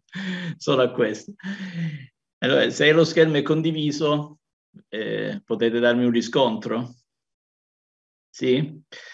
Allora, il suo intervento era sulla compliance aziendale, quale strumento di prevenzione della, della corruzione e da intendersi per compliance eh, eh, aziendale eh, la capacità dell'impresa di auto-organizzarsi no? con, con, per, con predisponendo delle procedure eh, corrette eh, in proposito eh, volte al rispetto delle norme e, ehm, e, e, in questo lui muoveva sempre dal quadro, dal quadro comune eh, insomma, abbiamo, a cui abbiamo fatto riferimento, dalla Convenzione delle Nazioni Unite sulla corruzione e anche insomma, dal, dall'esito del, del, G20 2021 che eh, si è concluso come, come sappiamo ottobre-novembre dello scorso anno e, e da qui insomma mh, alcune riflessioni e anche una parte eh, propositiva. Eh, il riferimento per quel che riguarda la Convenzione delle Nazioni Unite è a due articoli in particolare che sono il 12 e il 13. Eh, il primo oh, diciamo, oltre all'aspetto sanzionatorio, eh, si eh, focalizza sul tema della compliance, proprio come strumento di prevenzione della corruzione. Il secondo è, è sulla trasparenza della pubblica amministrazione, l'informazione e la, e la partecipazione del settore privato quali eh, punti fondamentali per la prevenzione della corruzione. Ora, queste prospettive, cioè le prospettive eh, poste da, da, aperte dagli articoli 12 e 13 della Convenzione ONU, le si ritrova nei punti 57 e 58 della dichiarazione finale a cui faceva cenno il consigliere Tartaglia Polcini, eh, adottata appunto dal, dal, dal, dal G20. E eh, devo dire che Fibiani aveva fatto anche un lavoro di, di analisi attenta eh, per vedere in, ehm, nel, in, quali atti adottati dal G20 no, avessero in qualche modo ripreso queste, queste tematiche e li aveva individuati, come vedete, eh, prendendo in considerazione sia il piano triennale di azione 2022-2024 adottato dal G20, sia i, i High Level Principles on Corruption and Organized Crime e, e ancora l'Accountability Report e in particolare per quel che riguarda i, i high level principles, eh, in, aveva sottolineato diciamo, come sia, sia presente eh, nel principio 2 il tema della partecipazione della società civile quale punto fondamentale nella lotta alla corruzione e questo sempre in corrispondenza all'articolo 13 della Convenzione, eh, della convenzione ONU. Quindi ehm, da questo eh, eh, Fimiani passa a un'analisi uh, diciamo molto precisa ed essenziale il compendium sulle, delle buone prassi, adott- eh, che è sempre uno del, degli atti che, eh, di cui ora disponiamo a seguito del G20, prevede eh, eh, alcuni indicatori specifici per la misurazione della corruzione. Abbiamo i dati delle indagini, i dati amministrativi, quindi sia la risposta del sistema della giustizia penale, sia i rischi di corruzione, opinioni e i giudizi di esperti e analisi condotte sui big data eh, e, e, gli indici compositi sulla corruzione.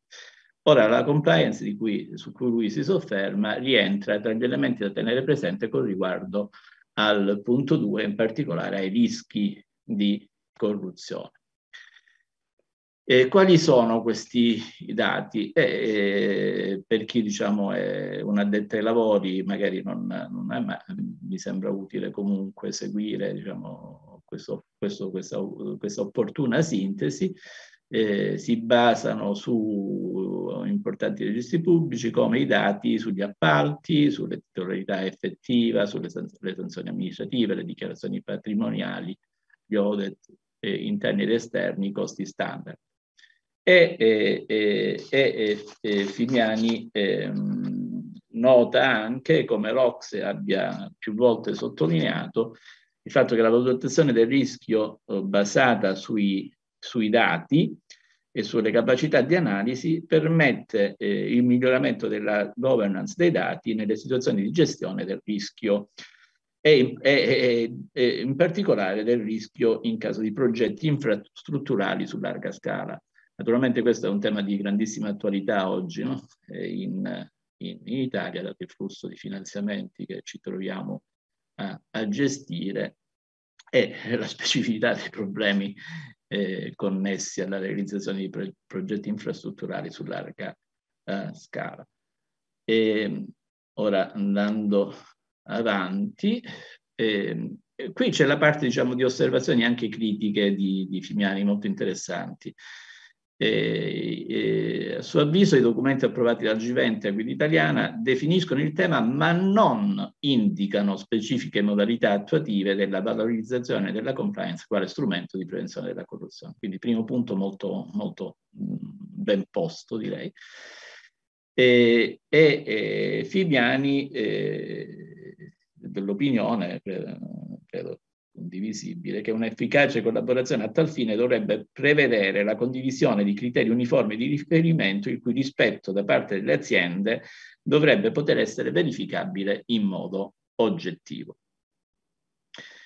Ed è fatta questa osservazione sul G20 e anche diciamo, questa, questa, chiara notazione sulla direzione, sull'indicazione di, di direzione, eh, osserva come eh, alcuni spunti interessanti vengano dai sistemi ISO attualmente in, in, insomma, in, in uso e in particolare dall'ISO eh, 37001 Anti-Bribery Management Systems, eh, la quale identifica uno standard di gestione per aiutare le organizzazioni nella lotta contro la corruzione, istituendo una cultura di integrità, trasparenza e conformità. E noi mm, credo insomma, si conosce che cosa, cos'è l'ISO, qual è il valore dell'ISO nella, nella realtà imprenditoriale anche italiana. E, mh, mm, Pimiani eh, ci, ci, analizza, diciamo, considera quello, eh, que, quelle che sono le disposizioni eh, del, di questa ISO 37001 e, che affronta diversi, diver, diversi punti, come corruzione nel settore pubblico, priva, eh, privato e senza fini di lucro, corruzione da parte dell'organizzazione e, e così via. E, e, anche qui poi abbiamo diciamo, i limiti, l'indicazione dei limiti del, del, della valorizzazione di questa ISO e del ricorso a questa ISO 37001, nel senso che si tratta di standard applicabili solo alla corruzione, quindi non affrontano, non affronta specificamente altri, diciamo, reati possibili connessi, cioè non affronta il problema delle frodi o del riciclaggio di, di denaro, per esempio, e, e, e ehm, si tratta di, di, di, di, requisiti che sono stati adottati in modo da poter essere applicati a tutte eh, le, le, le organizzazioni indipendentemente dal tipo, dimensione, natura e relatività, sia nel settore, pub, pu, nel settore pubblico, nel settore privato e nel cosiddetto terzo oh, settore. Quindi utilità e limiti del ricorso agli, a, a, a, agli standard ISO e, e poi l'osservazione, eh, anche questo insomma molto, molto, molto puntuale, l'adozione di tale sistema di qualità o altro equivalente ben potrebbe costituire un primo livello di, eh, certo di rispetto di standards di compliance anticorruzione adeguati e rappresentare una base di riferimento per l'individuazione di indicatori specifici del livello eh, di corruzione. Poi continua, sarebbe un elemento che potrebbe concorrere al miglior funzionamento degli indicatori eh, fondati su analisi condotte sui big data. Mi sembra veramente molto interessante eh, eh, questo, questo, contributo che ci ha eh, for, fornito l'Avvocato Generale Pasquale Fimiani e, e, e, spero diciamo, che eh, l'averlo tradotto in slide l'abbia reso eh, veramente insomma, eh, leggibile come dire, a, a, non solo a noi relatori ma a chi ci sta seguendo su, su YouTube. E ha portato diciamo indirettamente questo contributo eh, eh, io direi che siamo, eh, ora aspetta il professor Pasquale De Sena che non solo è presidente della, eh, che è professore presso l'Università di, di diritto internazionale presso l'Università di Palermo ed è eh, segretario e presidente della Società Italiana per i diritti internazionali e il diritto dell'Unione Europea, grande esperienza e con, consolidata direi da anni, eh, in particolare tra i suoi vari incarichi e settori, insomma ricorderei che è, è membro permanente del Comitato per i diritti dell'uomo su designazione MAE, e lascerei a lui la, Eh, intanto lo ringrazio veramente perché è, è, è, tra i primi con i quali abbiamo, come dire, ragionato su, su, questa possibile iniziativa. Lo ringrazio per la presenza, so che era impegnatissimo e gli lascio comunque questo invece arduo compito delle osservazioni conclusive di, questa, di questo nostro incontro. Grazie a te Gianfranco eh,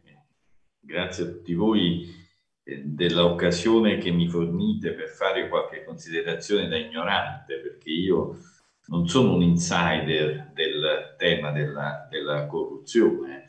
e quindi non posso che, eh, come dire, cercare di trarre qualche considerazione di carattere generale, che necessariamente poco provveduta sul, sul piano tecnico. Però mi sembra, devo dire, che da questo incontro così ricco si possano trarre, diciamo, dei, eh, si, possono si possono individuare, che questo incontro si possono individuare dei figli e si possano trarre delle conclusioni le più problematiche che, eh, che certe, quindi più, meno conclusioni ma più considerazioni problematiche. Allora, a me sembra, eh, volendo tracciare una sintesi come dire, fatta tramite l'utilizzazione delle categorie generali del, del diritto internazionale che eh, sul piano del, del metodo no, si confrontino in questa materia eh, due fondamentali indirizzi, se ho ben capito, del quale l'uno mi sembra calpeggiato dai tecnici, che a me, premetto, sembra più congruo, eh, quali sono senz'altro la professoressa Parisi e eh, il eh, dottor Tartaglia Polcini, ma anche naturalmente il eh, dottor Fimiani, nonché, diciamo, sia pure tra le righe, il procuratore generale Sappi, che quella è la sottolineatura della esigenza di strumenti di prevenzione. E quindi lo spostamento sul piano del controllo particolarmente del controllo preventivo, eh, delle tecniche normative internazionali e la esigenza dell'accentuazione di questo controllo. Opportunamente la professoressa Parisi ha messo in rilievo come eh, questo indirizzo che si coglie lungo tutto, eh, potremmo dire, l'arco degli strumenti che sono stati citati,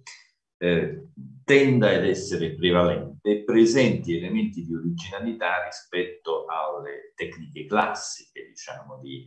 eh, fronteggiamento da parte del diritto internazionale delle, delle sue violazioni. Eh, a me sembra molto interessante, mi sembra che sia riconducibile a questa categoria generale tanto quello che ha detto la professoressa Parisi, che ha sottolineato molto bene, secondo me, eh, gli aspetti essenziali della tecnica del peer review, qualcosa che io francamente non, non conoscevo, tanto quello che ci ha detto il eh, consigliere Tartaglia Polcini quando ha messo eh, l'accento sui due pilastri, diciamo, dell'organizzazione normativa minima, ma soprattutto eh, dell'assistenza tecnica, che sono addirittura forse, eh, come dire, anteriori rispetto a no? siamo proprio nel campo della prevenzione in senso puro, non tanto del controllo preventivo, tanto direi quanto sarebbe emerso dall'intervento del, eh, del dottor Fimiani,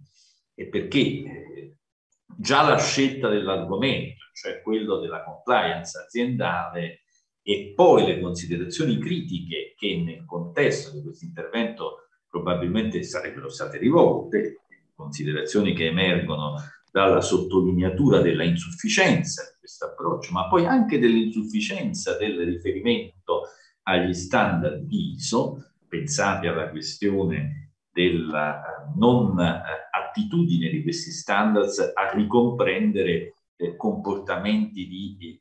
diciamo che potremmo definire di, circostanziali rispetto alla corruzione o comunque di, in, di genere, se volete, minore, ma di, di notevole significato.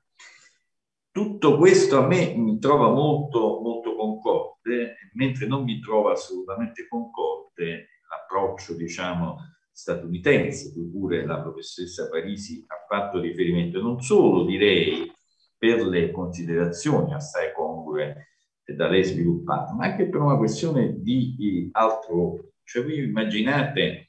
la istituzione di una Camera della Corte Penale Internazionale eh, con competenza eh, con riferimento a crimini contro l'umanità costituiti dalla, eh, da episodi di grande corruzione. Iniziamo innanzitutto a immaginare chi degli stati,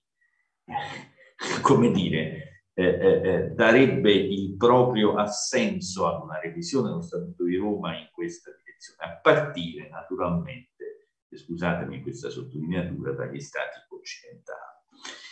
E, e quindi diciamo mi sembrano queste invece eh, ehm, considerazioni francamente irrealistiche. Eh, tutto questo, tutto questo movimento, diciamo, di eh, eh, normativo, eh, eh, però si scontra con dei dati di realtà, mi sembra di, di poter dire. Questi dati di realtà emergono per esempio dalle considerazioni che io scorrevo prima velocemente, che fanno da premessa al rapporto 2021 di, eh, di, scusatemi, di Transparency, eh, le quali osservazioni vanno nel senso di sottolineare che la situazione dal punto di vista della corruzione internazionale eh, non è molto migliorata, al di là diciamo, della distribuzione degli indici eh, di percezione della corruzione a cui Transparency si dà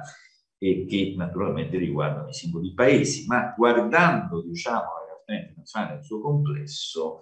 la situazione non sembra molto, molto migliorata. E non sembra molto migliorata, attenzione, malgrado il quadro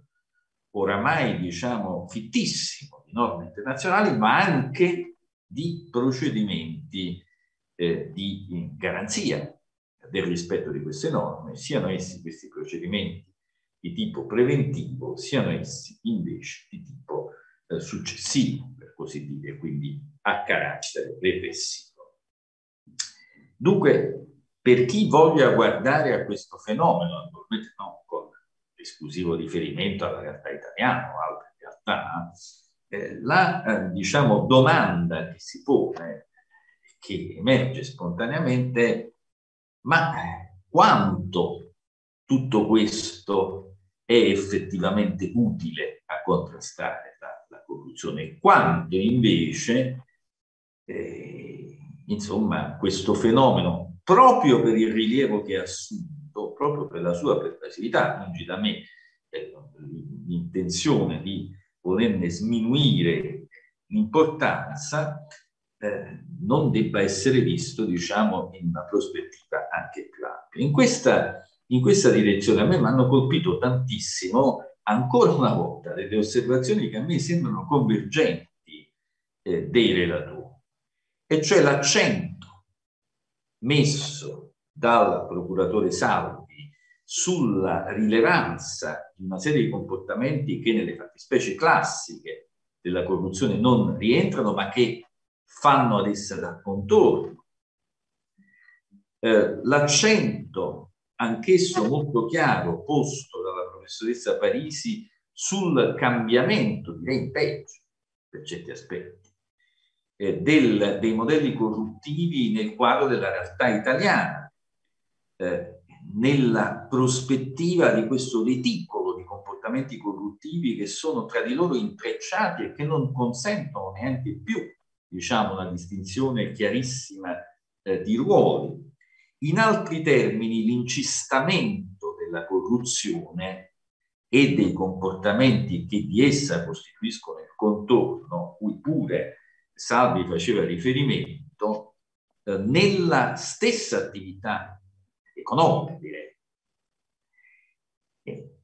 Ed è qui la giusta sottolineatura anche delle esigenze di andare a vedere, ma anche la difficoltà di andare a vedere dove nascono le condotte corruttive. Questa è la vera, la vera questione, diciamo. Bene, tutte queste osservazioni, eh, diciamo, eh, cospirano eh, per chi come me, diciamo, sia un po' avanzato. Io, io la mia discolpa va il, eh, il, fatto di aver detto a Gianfranco più volte che io ero una persona forse non del tutto adatta a stare qui, meglio sarebbe stato Giorgio Sacerdote, qualcuno qualsiasi dei nostri colleghi che come Nicoletta Parisi si sono occupati di questi temi. Ma insomma, io cerco di dare un contributo. Vedete, e qui vengo a quello che ci, ha sottolineato, ci hanno sottolineato sia Gianfranco Tamburelli che Fabio Concetti in apertura, eh, e cioè eh, la necessità, Gianfranco l'ha fatto citando il punto 16 della, eh, eh, dei punti dell'agenda globale delle Nazioni Unite, Fabio l'ha fatto in termini più generali, consoni al carattere introduttivo del suo intervento, il collegamento, la connessione ineludibile che c'è tra questo gigantesco problema, altri giganteschi problemi della comunità internazionale in questo momento storico. Gianfranco citava del eh, documento, della, dei punti della, dell'agenda per lo sviluppo sostenibile, in modo direi chirurgico, l'accento posto nel punto 16 sulla, sui paesi in via di sviluppo e sulla l'ONU. Ora, quali sono, diciamo per così dire, i riflessi di questi due punti? I riflessi sono, di questi due punti sono i due, due riflessi che costituiscono due problemi giganteschi di questo momento storico che si ricollegano strettamente al, al tema centrale della corruzione. Se infatti andiamo a vedere oltre il punto 16 agenda sostenibile, eh, se uno come me, che d'altra parte è un profano, va a vedere eh, la parte finale dell'indice corruttivo del 2021 di Transparency, cosa ci trova? Ci trova esattamente questo, ci trova che nella coda sono presenti per lo più paesi i quali siano caratterizzati da tassi di disuguaglianza molto pronunciati rispetto agli altri e paesi nei quali,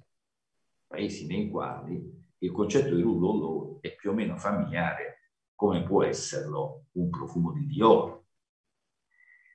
o forse anche meno, considerati gli aeroporti che abbiamo, diciamo, e quindi la diffusione di centri eh, commerciali. Qui mi ha anche colpito moltissimo, io naturalmente diciamo, non mi do allo sport preferito dei più, cioè quello di eh, dire, giocare a fare eh, il soggetto di governo. Però devo dire che mi ha colpito tantissimo quanto ha detto ancora una volta eh, il dottor Tartaglia Poncini, quando in coda al suo, eh, al suo, alla sua descrizione diciamo, del eh, pilastro, del secondo pilastro della diplomazia giuridica, in coda, ma sottolineandolo come elemento ineludibile, ha fatto riferimento alla diffusione del valore. Perché io sono perfettamente consapevole che questo è un elemento, se volete, circostanziale. Ma cosa può fare oggi, diciamo, uno di noi, consigliere Tartaglia, la professoressa Parisi, un operatore che non si occupi di disuguaglianza o di stato di diritto, che non si occupi della tragica situazione in cui si trova eh, quella parte di mondo in cui viviamo, tanto riguardo al primo di questi problemi quanto a, al secondo. Lo stesso pezzettino dell'indice di trasparenza, lo stesso pezzettino introduttivo dell'indice di trasparency fa opportunamente, secondo me, molto opportunamente riferimento alla circostanza che chi come me si occupa un po' di questi temi eh, lo Stato di diritto, ma soprattutto il rispetto ai diritti umani fondamentali sia intesi ovunque. E da questo punto di vista eh, la situazione che si è generata nel corso della pandemia, anche in Occidente, certo, non ha contribuito, diciamocelo francamente, a, come dire, eh, eh, influire positivamente su, su, questa crisi. Quindi mi ha colpito questo eh, ehm, eh, come dire, accenno ai valori, perché, vedete, io sono sempre stato molto scettico sulla eh, prospettiva dell'imposizione a livello macrostrutturale no? dei, dei valori, la democrazia, i diritti umani, eccetera, cioè quel insieme di problemi che eh, si riconosceva negli anni 90, ma direi soprattutto negli anni 2000, alla tematica dell'intervento umanitario, il diritto internazionale, ovvero alla eh, nozione di esportazione della democrazia e dei diritti umani fondamentali eh, vista in termini giuridici. Però qui quello è il livello macrostrutturale, se vogliamo, no? Questo è un livello microstrutturale, molecolare, no? quello della diplomazia giuridica fatta da operatori che non hanno solo, eh, come dire, una capacità di ordine tecnico, ma anche una sensibilità politico-istituzionale come quella del dottor Tarzaria Procini, molto accentuata. Ecco, questo mi sembra di estrema importanza e eh, anche fa, eh, fa, eh, fa, pensare, mi sembra insomma è qualcosa che fa pensare. D'altro canto anche lo stesso dottor Fignani, ricordate nella ultima slide proiettata da Giancarlo, giustamente, che cosa ci fa rilevare? Ci fa rilevare che l'ISO, il, lo standard ISO preso in considerazione, eh, che costituisce un plus rispetto ai risultati piuttosto, diciamo, eh, magri su quel punto specifico G20 ricomprende una serie di, lascia fuori una serie di comportamenti che oggi costituiscono la sostanza, diciamo, eh, perlomeno degli aspetti circostanziali della corruzione, ma anche indipendenti rispetto alle esenti. D'altro canto, se noi guardiamo i rapporti che l'ANAC in Italia ha rilasciato, vediamo che l'ANAC si è occupata di tutto, di tutto fino al punto eh, di essere tacciata, di andare anche al di là sicurezza, ma questo è in qualche modo naturale, cioè siamo di fronte a problemi enormi. Cosa può fare un operatore giuridico? Ecco, eh, non è che possa fare tantissimo di fronte a questioni come la disuguaglianza e lo Stato di diritto o la crisi del rispetto ai diritti umani fondamentali, che secondo me sono anche, come dire, stanno anche soggiacciono no, alla problematica della corruzione, non sono solo davanti, non è solo la corruzione che mette in pericolo questo, ma questo potrà accadere tutto sommato un tantino nell'Occidente europeo e altrove, diciamo. ma non certo diciamo nella gran parte dei paesi della comunità internazionale dove questo, eh, dove l'indice di corruzione è altissimo e dove evidentemente si ricollega a realtà ben diverse. Qui, per quanto piccolo, per quanto diciamo, eh, se volete, appunto, inane rispetto a questi obiettivi, l'accento sull'attività paziente, costante e eh, profonda di diffusione di certi valori, non con intento di didascalico di massa, ma come dire, nell'operare concreto no? degli operatori del diritto che, eh, eh che agiscono in, di concerto con la diplomazia mi sembra di, di, di, estremo rilievo e se permettete una delle note più dire, rilevanti di, di, questo nostro incontro sul piano delle prospettive propositive. Ripeto, io sono un pessimista sul piano, eh, diciamo, del, credo in questo di incrociare un pochino anche la sensibilità di Fabio Mancelli e, e, e quella di Gianfranco Tamburelli, ma tutto sommato dobbiamo chiederci ciò che noi possiamo fare, diciamo, come, eh, come, come operatori giuridici, diciamo, eh, nei diversi livelli in cui, in cui operiamo. Io non ho molto da aggiungere, come vedete tutto sommato e come sempre le mie considerazioni sono più problematiche, l'ho anticipato, che conclusive, se non un ulteriore ringraziamento di cui so, mi sono dimenticato prima a Gianfranco e a tutti gli intervenuti, perché hanno dato modo in estrema semplicità, ma con una grande profusione di competenza tecnica eh, e con molto understatement e modestia, di animare un, un'occasione come questa che spero possa essere anche un po' prototipica no? eh, rispetto eh, all'intervento della SIDI su temi che è vero, magari non investono diciamo, i grandi capitoli dell'ordinamento internazionale, ma contribuiscono a far sentire diciamo, la rilevanza della, dell'ottica anche giuridica internazionalistica eh, in relazione a, questioni che sono vivissime eh, nel, nel dibattito pubblico. E quindi sono grato a Gianfranco e a tutti i partecipanti, se mi consentite, anche a nome del, del direttivo della City, per, per aver animato, dato corpo a questa nostra occasione di incontro non molto di più, essendo un profano, diciamo, un portoghese in qualche modo. No, gra- grazie, credo state, siano state delle osservazioni conclusive, non solo, insomma, come dire, essenziali, e, ma anche brillanti, devo dire, il, il, l'aver individuato alcuni, insomma, alcune problematiche su cui si è focalizzata la nostra attenzione. Ti ringrazio anche per la, per la, solidarietà sul pessimismo, nel senso che effettivamente diciamo, eh, io non a caso sottolineavo l'ottimismo di Giovanni Tartaglia Polcini, che, che, che giova, che giova, ma e io spero, ehm, non, non, risultano ora da chi segue su YouTube delle osservazioni domande, considerando che siamo andati anche oltre, devo dire, un po' i tempi previsti. Io, se, meno che diciamo voi non vogliate fare qualche osservazione ulteriore, andrei veramente alla conclusione, al saluto. Mi fa molto piacere il fatto che questa sia stata anche un'opportunità appunto di collaborazione, di dialogo tra insomma, il mio istituto, istituto, anche se non sono diciamo al momento